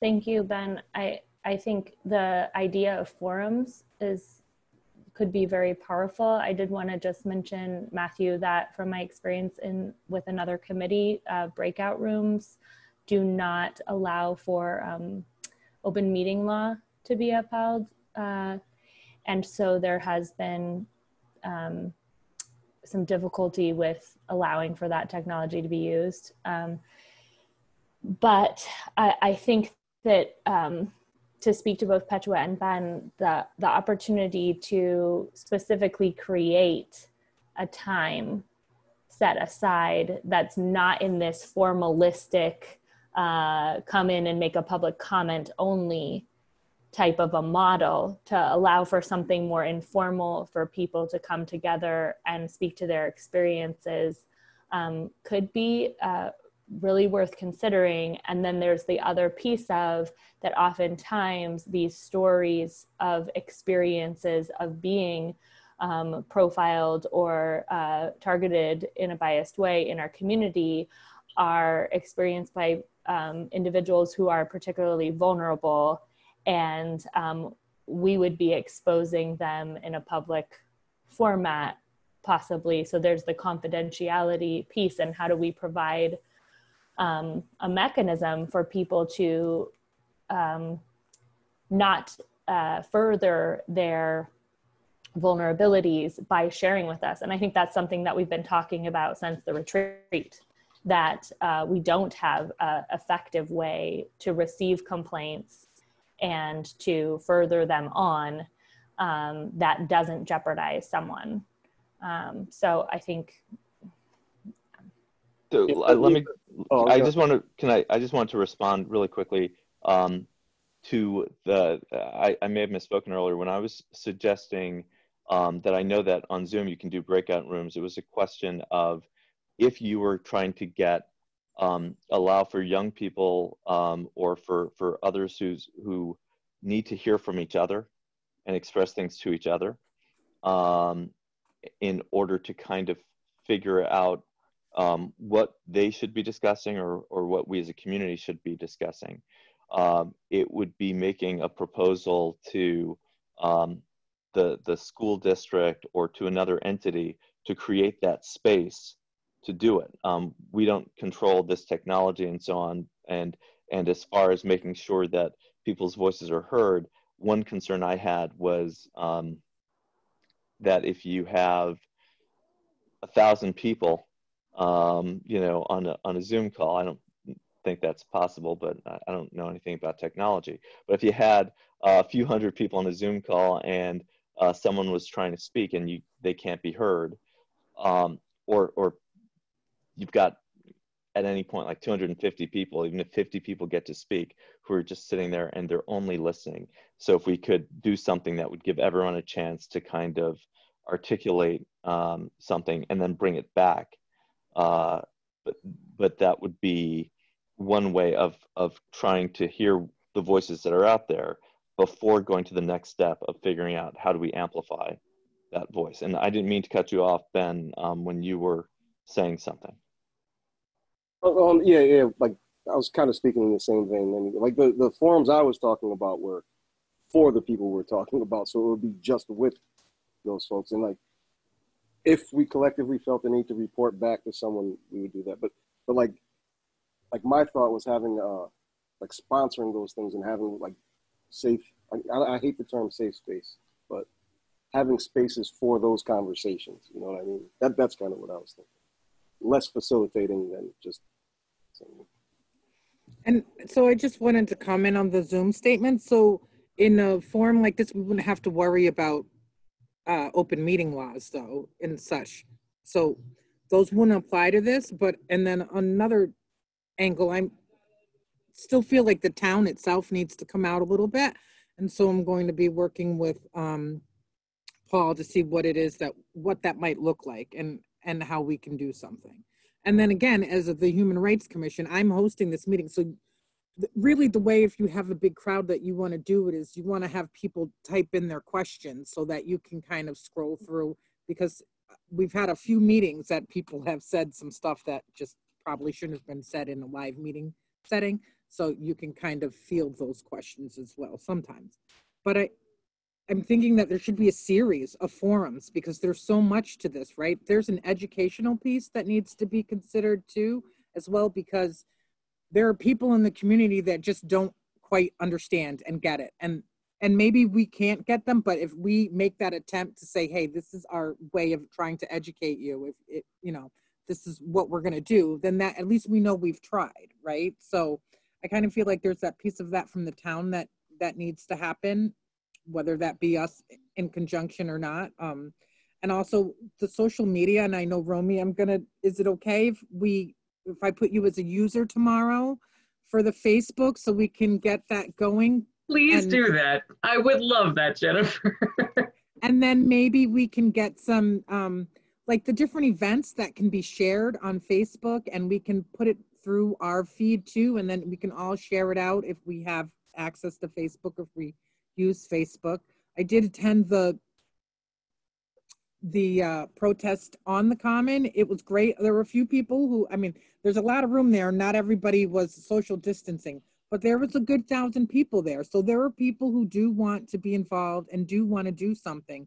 We need to come up with lots of creative ways to kind of move that forward. And I think a series of different forums for young versus old and or young and old. That's the basketball thing. So um and just you know, have it all kind of come together would be really fantastic. So who would we ask to uh, to engage in that kind of forum creation?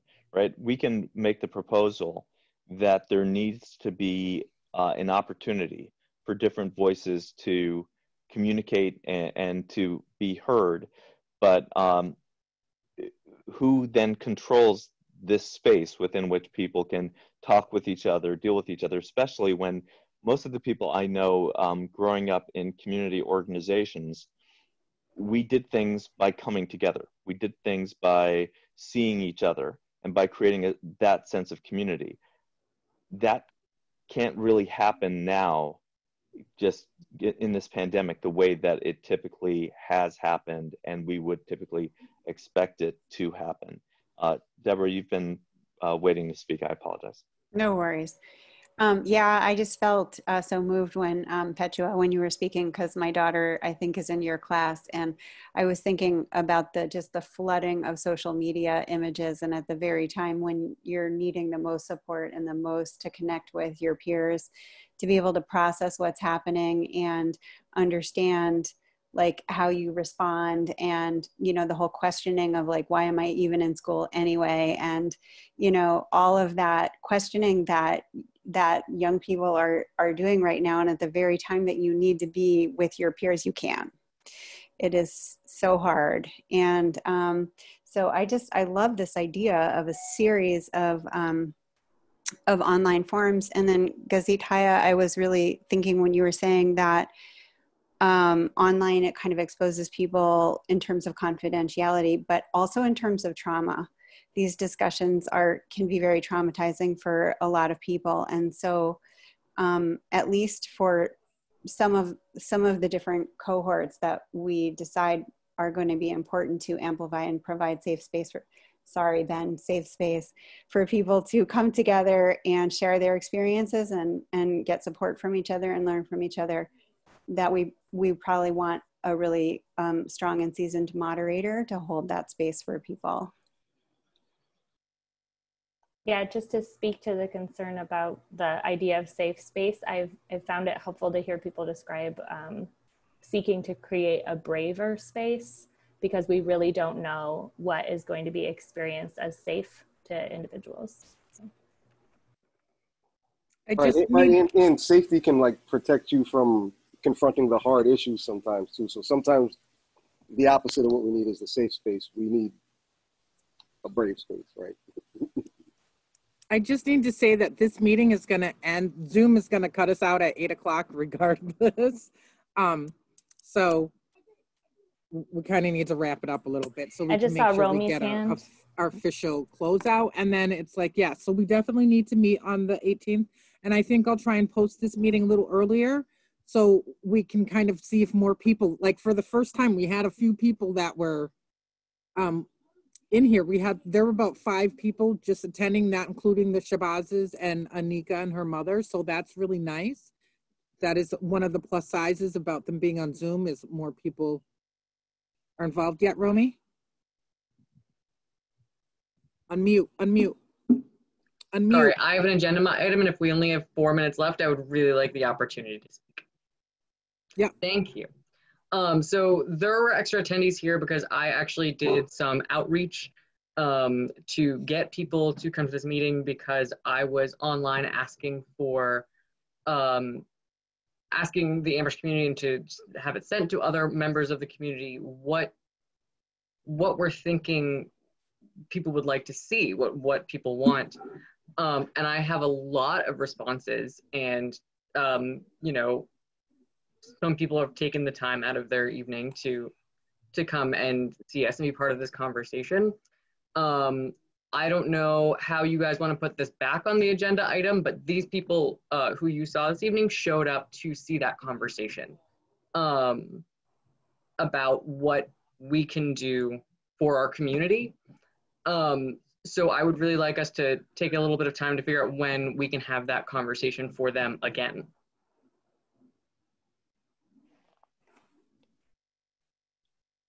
Uh, Romy, if you could just clarify, um, so if you're talking about um, what the Human Rights Commission's uh, role can be in in bringing people together, because I, I, think uh, one of the things that I was pointing out when I said that um, that we don't control Zoom, part of it was that we we are a town entity and and we are reliant on the town uh, giving us a little bit of space for us to to meet even, um, let alone to uh, to have a brave conversation about issues that, that need to be discussed.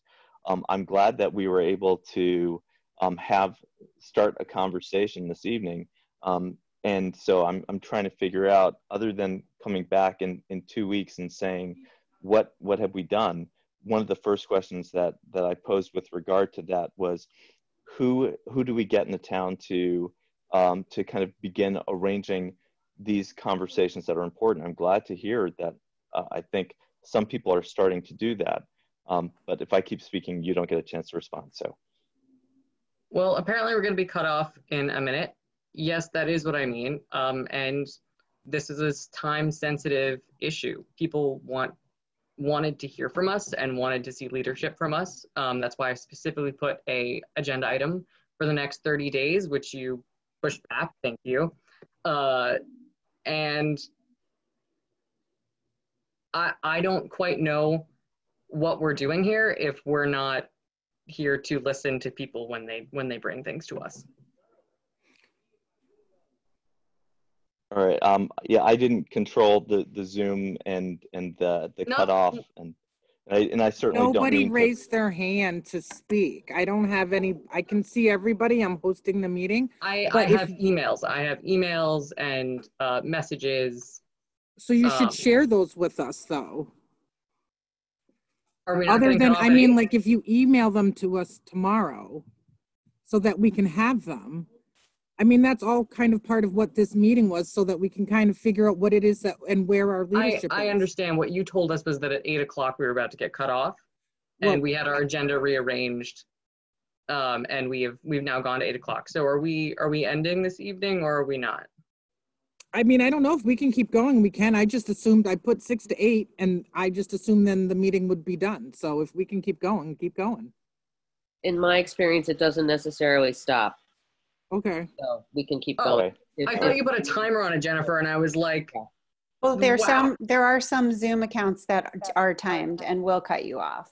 Right, but somebody will get a signal that says you have 10 minutes left. So yeah. that's really need yeah. to look for. So but yeah. we could we could also you could share those emails and we could add this as the first agenda item for the next meeting. Would that would that work? No, I think I need to resign and um, I need to do uh, outside work from our group. Um, Paul and Matt, I will send you that as an official letter. Thank you so much. Have a great Okay, well, I'm certainly sorry to hear that, especially because, um, as I was just asking, you know, the question is, who do we communicate with so that people's voices can be heard? Who do we speak with so that the space is created? Because we need to do that. And for, you know, those of us who are taking care of or, or trying to take care of um, older parents during this time period who are looking at um, at trying to be responsive to news cycles that are are incredibly difficult and are trying to maintain employment at a time when a lot of people aren't keeping it. Um, you know, it's a hard time for everybody. And so trying to create the space so that um, we know which of these um, items we can we can hit on and we can move forward with, and that we can partner with um, people in uh, in the administration of the town to say, look, we understand that we may have missed some voices. I think that that's what our, our role is. Our role as the Human Rights Commission is to say, if there are, are people in the town whose voices aren't being heard in a way that it is hurting them every day, and we can do something about that, that's where we're able to step in. That's where we're able to try to create the space. But we don't have the power or the budget or, or to just make the space. We have the ability to recognize that um, people need advocates and uh, and they need people who can hear them. And so that's what I'm hoping we can do, Gazit Haya. Just real quickly, I'm wondering on that, um, you know, one of the sort of uh, differences about putting on a Zoom meeting versus an event where we would want to have food and, you know, um, space and some other things that are more financially um, an investment. I wonder if we could consider um, asking the town if the HRC can sponsor um, a few Zoom opportunities um, for forums and and start us off um, and you know create some community listening sessions that would not be a financial investment at this point. From what I understand, the town you know has the Zoom account. Um, and it would you know it, it could grow into something down the line when we have you know physical uh, ability to be physically together. Um, and i imagine we could similarly to what we've done for other events you know enlist the support and sponsorship and collaboration of other organizations. But um, it, it, seems like something that perhaps the hrc could consider doing um, some, you know, similar to bringing a table to a community event, have a, a Zoom tabling of a community opportunity. Yep. Yeah. Yeah, I thought that's what we were talking about. I think that is a great idea um, to structure a series of Zoom events. And um, I also, I don't know if any of you caught the um, President Obama's town hall yesterday, um, and there were a number of organizations uh, represented um, in the discussions. And you guys may have heard of this the Eight Can't Wait proposals. Do you guys know those proposals for police? And it made me wonder like, I have not never sat down with the police, uh, like the chief of police or the police in this town, to just ask like, you know, have they already um, instituted these eight, these specific eight measures that data shows um, really re do reduce um, uh, violent interactions between police officers and community members. Um, so I thought that that like there there are a lot of great organizations already doing very fine work, and we could piggyback on that work um, and host some kind of discussion with the police. And this might be redundant because maybe some of these discussions have already taken place. But, and then, we're, you know, if we were to do that, then also report back on that to the community. Um, because I mean, that's really sort of like the big, and that's one of many, right, of the big inflamed issues at this time. So it feels like it would be important to take action specifically on that in addition to multiple forums. Right, and I believe Gazit Haya was going to um, meet as an individual um, uh, and and was looking for if if there's uh, information that others are, are able to share with her. Um, I I don't ask you to do this as um, as the commission, but I do ask you as individuals to share uh, information that you have that that you think uh, would be helpful. And um, even though I'm asking that everyone act in an individual capacity, once you've acted in that individual capacity, if you have information you want to bring back to all of us that we can all think about and act on, um, I think that that would be great. Thank you. Yeah, that is in the works. And um, the Shabazzes are going to be joining me in that. Um, and I think the, sorry, I just jumped because my cat just bit me. I have missed dinner time. um, so uh, I think the concept of a down town hall um, is, uh, I think, could be a great first start um, if the HRC was able to uh, host a, um, a town hall through the the lens of hearing what's going on for people, both in light of the pandemic and um, the uh, police brutality that's been uh, more highlighted uh, in the national media now, even though it's not necessarily increased. Um, uh, and also, um, Dr. Shabazz did share that um, the Bridges for Unity organization that um, they're a part of would be willing to co-sponsor um, such a town hall? Well, one question I would have is, um, and, and, again, I know that Zoom is not a great thing to keep people on forever, but um, one question I would have is um, making sure we can, how do we make sure we can bring in the people who have the best answers? I mean, one of the things about um, this town is that there's a number of people who will try to uh, respond to questions, answer questions. Um, some are, are better able to articulate those responses than others. But, um, you know, I, I, think one of the things we've done over the past few years is we've tried to bring in uh, people from the town so we have a better understanding of what they do so that we can, when we hear questions, when we hear complaints, we know who to reach out to. Um, because again, uh, where where the commission we can receive complaints of someone who has um, violated someone's rights, but we aren't in a position to kind of just make rights a little bit better every day. Whereas there are people who do try every day, and if we can help them uh, do that and make sure that they're hearing the voices um, that that we're trying to amplify, that's going to help more people than um, than us being an intermediary uh, in the first instance. But I, I'm trying to figure out the best way to do that. I know that the town council is specifically looking for feedback from the community about what the community wants. Um, and I had, um, I was at the town council meeting this week and um, there, and mentioned that, you know, if there could be an agenda on the next town uh, council meeting for community members to present um, some specific policies or actions that they'd like to see um, the town council take.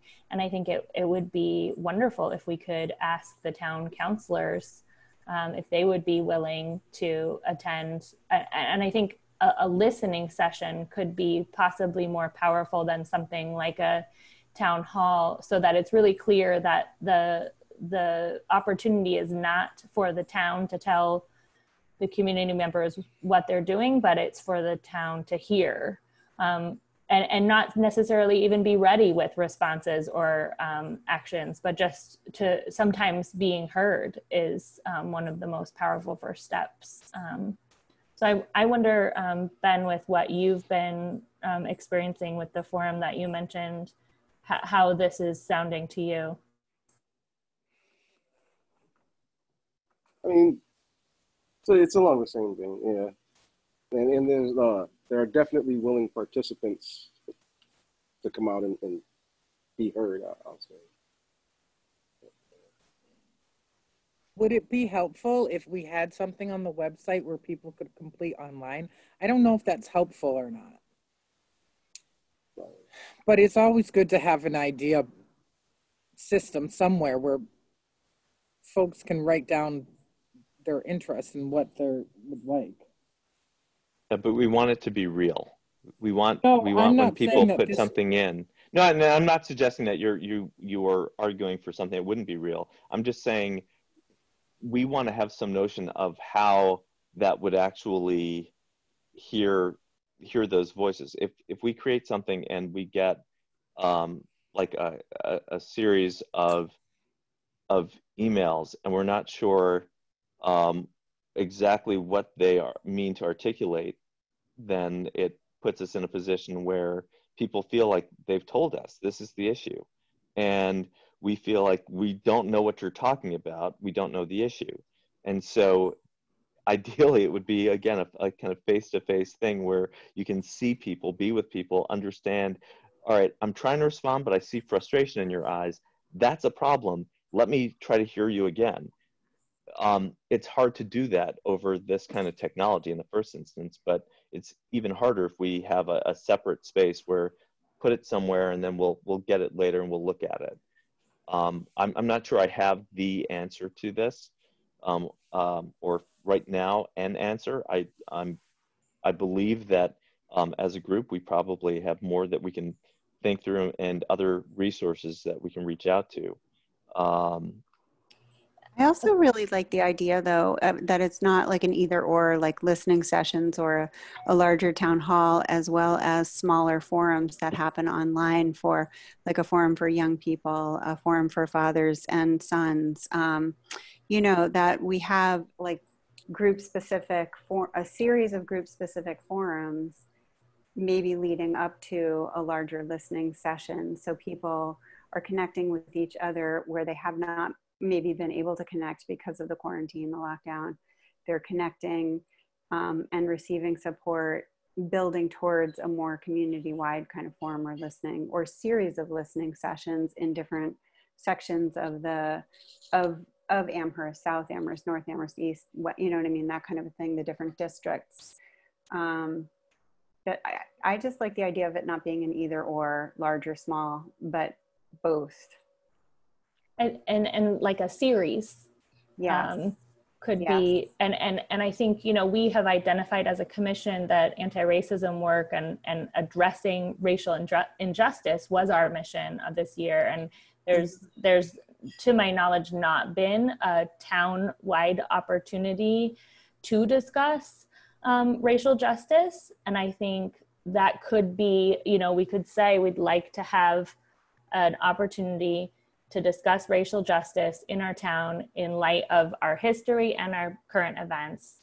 And um, either have like a kickoff you know event and then a series of small forums or start with you know i think the the structure of it is probably less um, you know that's something we could work out. But i think that could be very powerful to just specifically address um, what we have stated is our our goal for this year um, in a way that explicitly um, asks for community member participation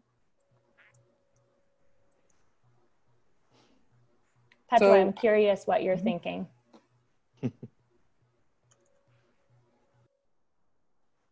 I, I think that it's important, uh, I think to know like what the goal of these forums are, especially when like discussing how the act, like just like think like what for whoever the forums are for, like what is the point of the forum if it doesn't like help those who are impacted um, like figure out what they need to do in their community like i i feel like i'm afraid that the forums will be just a way of like us being like saying like we're doing something but it's not creating substantial change in our i i, I think i just i'm just not sure what the goal is. And even when thinking about our our mission for this year's of anti-racism i'm really um confused about what our role should be and like how how, how we are reaching out to communities and how we are impacting using our, our role as human rights commissioners to um, bring about the anti-racism that we believe in uh, or and I don't, i'm not even sure we all agree about what we believe. Like i feel like there's so much work that we we have to do personally to understand what we're trying to do um, before we start like imposing discussions but at the same time like um there's like what's happening right now is happening right now. We must like like take um some type of role in that i i, I just I'm, i feel a little bit lost right now but i think um forums are great i think a great way of like just getting to hear other voices so i just i just want to be clear about what the goal of the forums would be I think, Yeah. Thanks, Petra. I think you you make a ton of sense, and I think there's a common question of like, what are we actually doing, and are we making a specific change that will impact the situation rather than just talking about it. I guess as Yeah. part of the planning process, I want to, hi Kitty, um, just sort of say that in my experience of doing things like this, there's sort of different kinds of forums. And I think there's like um, open forums where, you know, anybody can come, anybody can say anything, um, everybody can listen to everybody. And then closed forums, which to me are a very different kind of space. Like what you were talking about, Ben, is more of a closed forum for people who um, need to talk with other people who really understand their experience. And I feel like Petwa, that's what you were talking about also to some extent. And I, I don't know how to balance those different needs, those different kinds of spaces. If we had a whole different situation, I would say, you know, let's help people organize some closed forums first where they can talk with the folks they really need to talk with and then kind of see what comes out of that and bring that into a more open forum where everybody could learn but i think to just put everyone into an open forum just shuts shuts voices down because it's not safe it's never going to be safe i mean it's never going to be safe but it's specifically unsafe so i don't know and since i'm rolling off at the end of the month i promise i will attend things but i won't be planning them anymore but that's Oh, my thought The Dr. Shabazz has a his hand raised. Would you like to? oh, I I don't it. know if it's Mr. or Mrs. So No, am I here? yes, you are. Okay, just giving you on, as I mentioned to Gazette about Bridge for Unity. So we've, we're about a two-year-old group that um, has really been working on developing uh, intergroup dialogue as a, as a process, as a methodology. We have some very well-trained people who are a part of it, such as Paula Green, the founder of the Karuna Center for, for, uh, for Peace. Um, there are other people on there as well. My wife, um, from uh, her work at UMass and beyond, you know, with intergroup dialogue. Uh, there are others on the campus uh, as well who are really experts at intergroup dialogue. So there, again, I just I just chime in to say there's a lot of expertise available to you as a college town to help sort of facilitate um, a town hall that can be can be meaningful, that can provide people the opportunity to uh, to to to to express themselves, to ventilate, to share their concerns. Um, and to my knowledge, we don't have anything like that going on in the town of Amherst. So, um, you know, until COVID is lifted and we can do face-to-face things, I think Zoom uh, gives us the uh, a tool, uh, and we have expertise through Bridge for Unity, through UMass, through uh, other uh, uh, Hampshire College, whatever. Uh, we have expertise here that could really work with you to facilitate um, uh, a, a meaningful kind of town hall. I, I speak at this too. I'll close with this. Having gone out to this impromptu um, event by the town commons that brought out, you know, a few hundred people, I don't know. And um, there was a lot of emotion and there was a lot of feelings and need to express and uh, and to show solidarity and so on that you know people were out there. Latinx people were out there uh, um, non uh, hispanic white people were out there. Asian people were out there um, i really heard of it because the first folks calling it were the peace pagoda the new england peace pagoda folks up at, at leverett sister claire called me and so I knew about it from that, but then it seems like simultaneously some young people jumped out and kind of flash mobbed something on social media. And then, you know, it was this huge thing with the with the Peace Pagoda people doing their chanting uh, uh, and and uh, you know the crowd doing slogans out in the street. It was really quite uh, uh, democratic, quite cacophonous, and uh, and wonderful. But I think uh, that's one thing.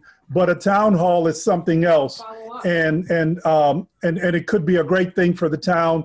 And I think the HRC could be a great entity to lead out in in just you know in in uh, in sponsoring that. And like I said, this expertise is here to do breakout sessions within Zoom, to do different things to kind of moderate the flow of it. But um, if you think it's help, it would be helpful to our town in terms of preserving our culture of human rights, our culture of respect of each other, uh, and turning to each other rather than against each other, then then maybe it's something uh, that could be could be useful. I think to add on to that, I think that's a great. I know there's a lot of expertise knowing that we live in a five college area. Also knowing that we like this town has a history of upholding um, human rights um, mindsets from whether you're young or old. I think that's really important.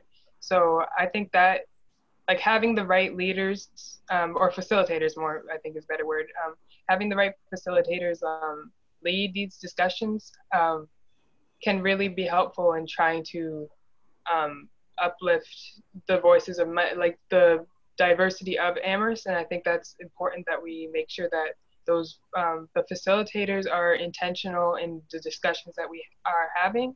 And so speaking of that i think that with with my experience with youth because I am a young person, um, I think that there are a lots of groups in our school that in high school and also in the middle school and younger um, students they all they all when there's like a protest like the most I've seen protest um, posts for Springfield and Chicopee and Holyoke and in Amherst and Northampton all over the place just posts that come out so you know where to be every like every day of the week. I think that the youth are really good at spreading the message and like showing up um, where they want to show their support, which is all, all, over the place, everywhere they want to show support, which I think is really important.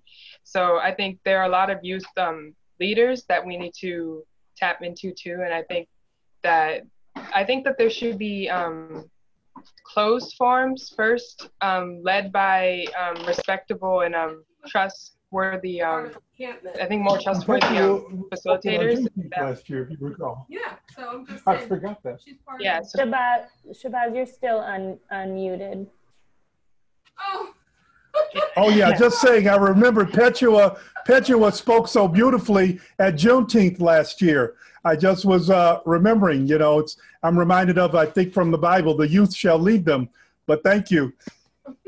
Yeah, yeah, I think so. Yeah, so just getting the right leaders to get to lead these discussions is, I think, really important. And I think what Dr. Sh- Mr. Dr. Shabazz is um, saying is um, that um, there's a lot of people out there that can help us, and I think our role as the Human Rights Commission should be a place where people can feel trusted to come to no matter who they are, which is, I think, really important for our mission. Um, so I think that's a good idea. I think we should start um, with closed forms though first. That's my idea. So um, that goes back to the question then of if there are um, entities that reach out to young people, um, so through our schools. Right now, we know this week uh, the plan for the schools uh, is to allow for people to speak to counselors, to speak to the family center, to speak to a lot of people who can be helpful. Um, and that was a plan that was just developed this past week.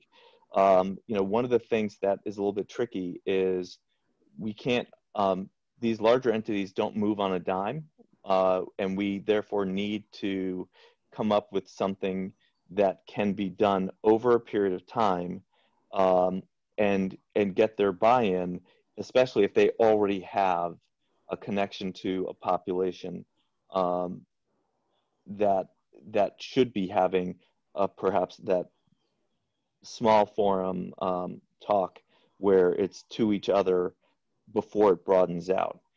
And so that goes back to my question of who do we um, who do we partner with right now and say we think this is an important time. We think that you are uh, able to reach uh, people who need to be heard and who need to kind of figure out um, a way forward in such a way that that information will get back to people who can act on it. Um, and so that that means, for example, um, not none of us are perfect, um, and there are police officers who have made mistakes and continue to make mistakes in Amherst. There are also, um, you know, I'm I'm told that there was uh, an officer last Saturday who, you know, as people are yelling, is just walking around, giving water, giving Gatorade, trying to kind of say, look, but we're here to support you and we are here to serve you. You're protesting police. I get it. You're protesting a horrible, horrible situation. And that's a horrible situation. You have every right to protest. And we want to let you know that we are still here to serve this community. So, um, you know, how do we make sure that those uh, voices that are protesting are heard by the people who say, look, I want to respond to that. And believe me that I have um, I'm trying to act in good faith. I'm trying to do something better. And um, and as you just said, Petra, that people should feel like no matter who you are, you can come to us.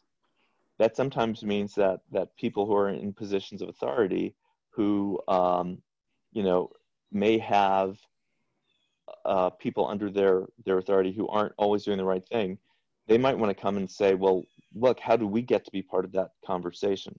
So um, the question for me is, how do we both make sure that there's a space where people can talk to each other in smaller groups and then get that message across somewhat quickly so that people who work in the town of Amherst and who want to serve everyone in the town of Amherst are able to do so.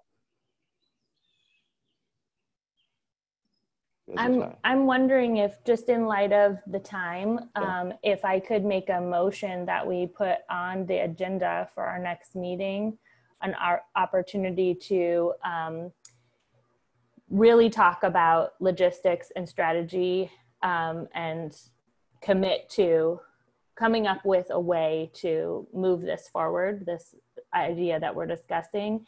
And I'd like to um, consider if uh, someone from Bridges for Unity would um, come to the next meeting and participate with us in that discussion. That that sounds great to me. I'm just Um, I'm not sure if the um, Dr. and Dr. Shabazz um, had heard that. I unmuted, so they should be able to and, hear. and they should be able to, to um, regardless, um, everyone should feel comfortable reaching out and inviting uh, others. Yes. And, Did you, Dr. Hello? Shabazz? yes. Yes. So yeah, had- so um, we we can reach out to Bridge for Unity. We're actually having our own coming together across three states on Zoom this um, this week uh, that will discuss the the current events and and what's going on. So that'll be between Kentucky, um, South Carolina, and uh, here in Massachusetts. And so we will uh, facilitate our own kind of discussion because we've kind of trained one another. So anyone doesn't have to be the Shabazzes, it could be Paula, but if y'all are interested in just, you know, learning more about what we do and having that as a possibility for facilitation with whatever group in whatever form, then we can invite someone from there most certainly, or you can, you can reach out to Paula yourself. Um, Okay. I, and I Thank you, to say that Dr. we're, we're going to be losing. Um, uh, again, everyone might still be in the area, um, but we're going to be losing the infrastructure of the school system in a couple of weeks as well. Um, and so by the time we meet again, that that aspect of the infrastructure, I, I don't know that it necessarily entirely goes away, but um, the the ability to um, partner and utilize that to reach out to a broad array of young people who are connected with the school system, that aspect goes away a bit. Um, so I just wanted to bring that up. Um, but there's very little we can do about the fact that um, that you know it made sense to try to determine what essential aspects of town government were in order to kind of keep the lights on uh, back in March. Um, I, I wish that we had been uh, considered uh, essential in, in kind of that way, uh, given how disparate, uh, disparately people are affected uh, by things as decisions are made. Um, although I will say, with all the other things I've had going on, I have not been attending town council meetings. I have not been, uh, you know, attending every meeting that the, that the town has because there's a lot of other stuff happening too. Um, but I, I want to thank everyone for coming tonight and for uh, trying to think through what our next steps can be and who we can partner with uh, and and who we can support. And I, I, think that we have some other things to think about in the next two week period before we meet up again. Um, but there are things that give me confidence that we can move something forward and we can be part of uh, finding solutions to um, some of the unease, if not solutions to the overarching problems um, right now. I just want to double check. So um, it, I made that motion that we put this on the agenda for our next meeting and that we invite you don't need to, for you. Yeah, as, as I said, um, uh, I we can put that on the agenda. You don't need to move to put that on the agenda. That's we're all good. Just just tell me it's on the. Um, you want to have that on the agenda. Um, when we send out the agenda in advance and say, are we missing anything? If it's not there, say you're missing this uh, and and it gets on there. That's it. It's, Thank it's you. You know, easy. it's beyond me what we have to motion and what we don't have to motion. I'm like, Doctor and Dr. Shabazz, do you have your hand up again, or is that from previous? Oh, sorry, that was from previous. Okay. All right, Sorry. perfect. No, that's fine. Perfect. So, and also, any ideas, send them in and or share them out to the group, right? So it's not really helpful if somebody has this world of information and then we don't all know about it. So, whatever ideas that you have that you want to share or thoughts of what we can do so we can kind of get the ball rolling. You know, there is a concern that, you know, we don't meet again for another two weeks. And then if we don't have a plan then, then we don't meet another again for another month or two weeks. So we kind of have to simultaneously make, try to make this happen or get to a certain point by the time we meet again right? Because otherwise, we're going to be in like July or August before we get anything going. Well, and and I'd also just point out that all of you are um, serving on the Human Rights Commission because you are phenomenal people who are already engaged and want to be engaged in the community. This should not stop you from being those phenomenal people. Be be who you are and uh, and continue to work with others. If you can bring some of that back to us and let us reflect some of the shine that is you, we are happy with that. Um, but if if you are shining on your own too, that's fantastic. Keep doing that. Keep being you. All right. Um, so we're meeting in two weeks. Thank you, everybody sorry to keep you on for two and a half hours, but um, but we will see you soon. Think about um, about what you want those next steps to look like, and think about uh, people you want to be plugged into that, and so we can. Do talk we about need it. a motion to adjourn? We do need a motion to adjourn. Before you do that, I just wanted to throw out Petua, if you'd be willing to just gather ideas from your your peers um, and and shoot those out in email too. That that'd be Yeah, so that's awesome. yeah, that was my plan for the next steps. Just Thank reaching you. out to the youth and also reaching out to the administrators. Thank you. Thank you for everything you shared tonight. I really appreciate your perspective. So the only thing we can't do is we can't talk about something that we need to make a decision on um, in order to kind of deliberate. Uh, if you have things that you want uh, to put on the agenda and you want to give us information on why uh, that should be on the agenda, you can do that uh, and you can share that with everybody. What you cannot do is say, this is something we need to be thinking about and this is something, um, and I want to hear your thoughts. Let, um, you know, please respond. Because then then we're in a meeting and that's something that the open meeting law doesn't allow for. But otherwise um, please feel free to share the information that you have uh, and be And- supportive of each other. If there's stuff that you guys need to somehow informally talk about or whatever, if you reply or respond or send the email to me, if each individual does that, then that avoids the open meeting law. right? I'm So not that's how we looking came to up with that avoid the open meeting law um, for the, the record. Oh, Um, yes, right. We're not trying to avoid it, but Keeps us in compliance with the open meeting law. Is that it's in better language? compliance with the open meeting law, but I'm, again, we, like, we're not gonna meet for another two weeks and there's a lot to be done and we have to get it done without meeting some of that, some, most of it, so. Again, but, but we don't, it's not the commission necessarily getting it done. It's individuals in the town of Amherst that happen to be involved and engaged. And, uh, and I appreciate that. And if, if you share things with people who are individuals in the town of Amherst and say, here's a way you can get engaged right now, you can do that as long as it's not something that's supposed to come through the commission and that the commission should be thinking about and doing itself. Does that make sense? Information sharing, not dialogue. Yep.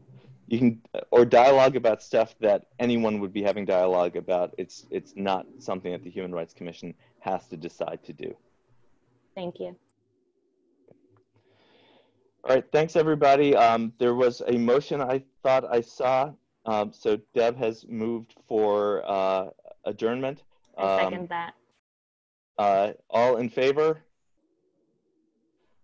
Uh, that's unanimous. Thank you everybody and Thanks, i'll see you in a couple weeks if not before. So nice to see you all.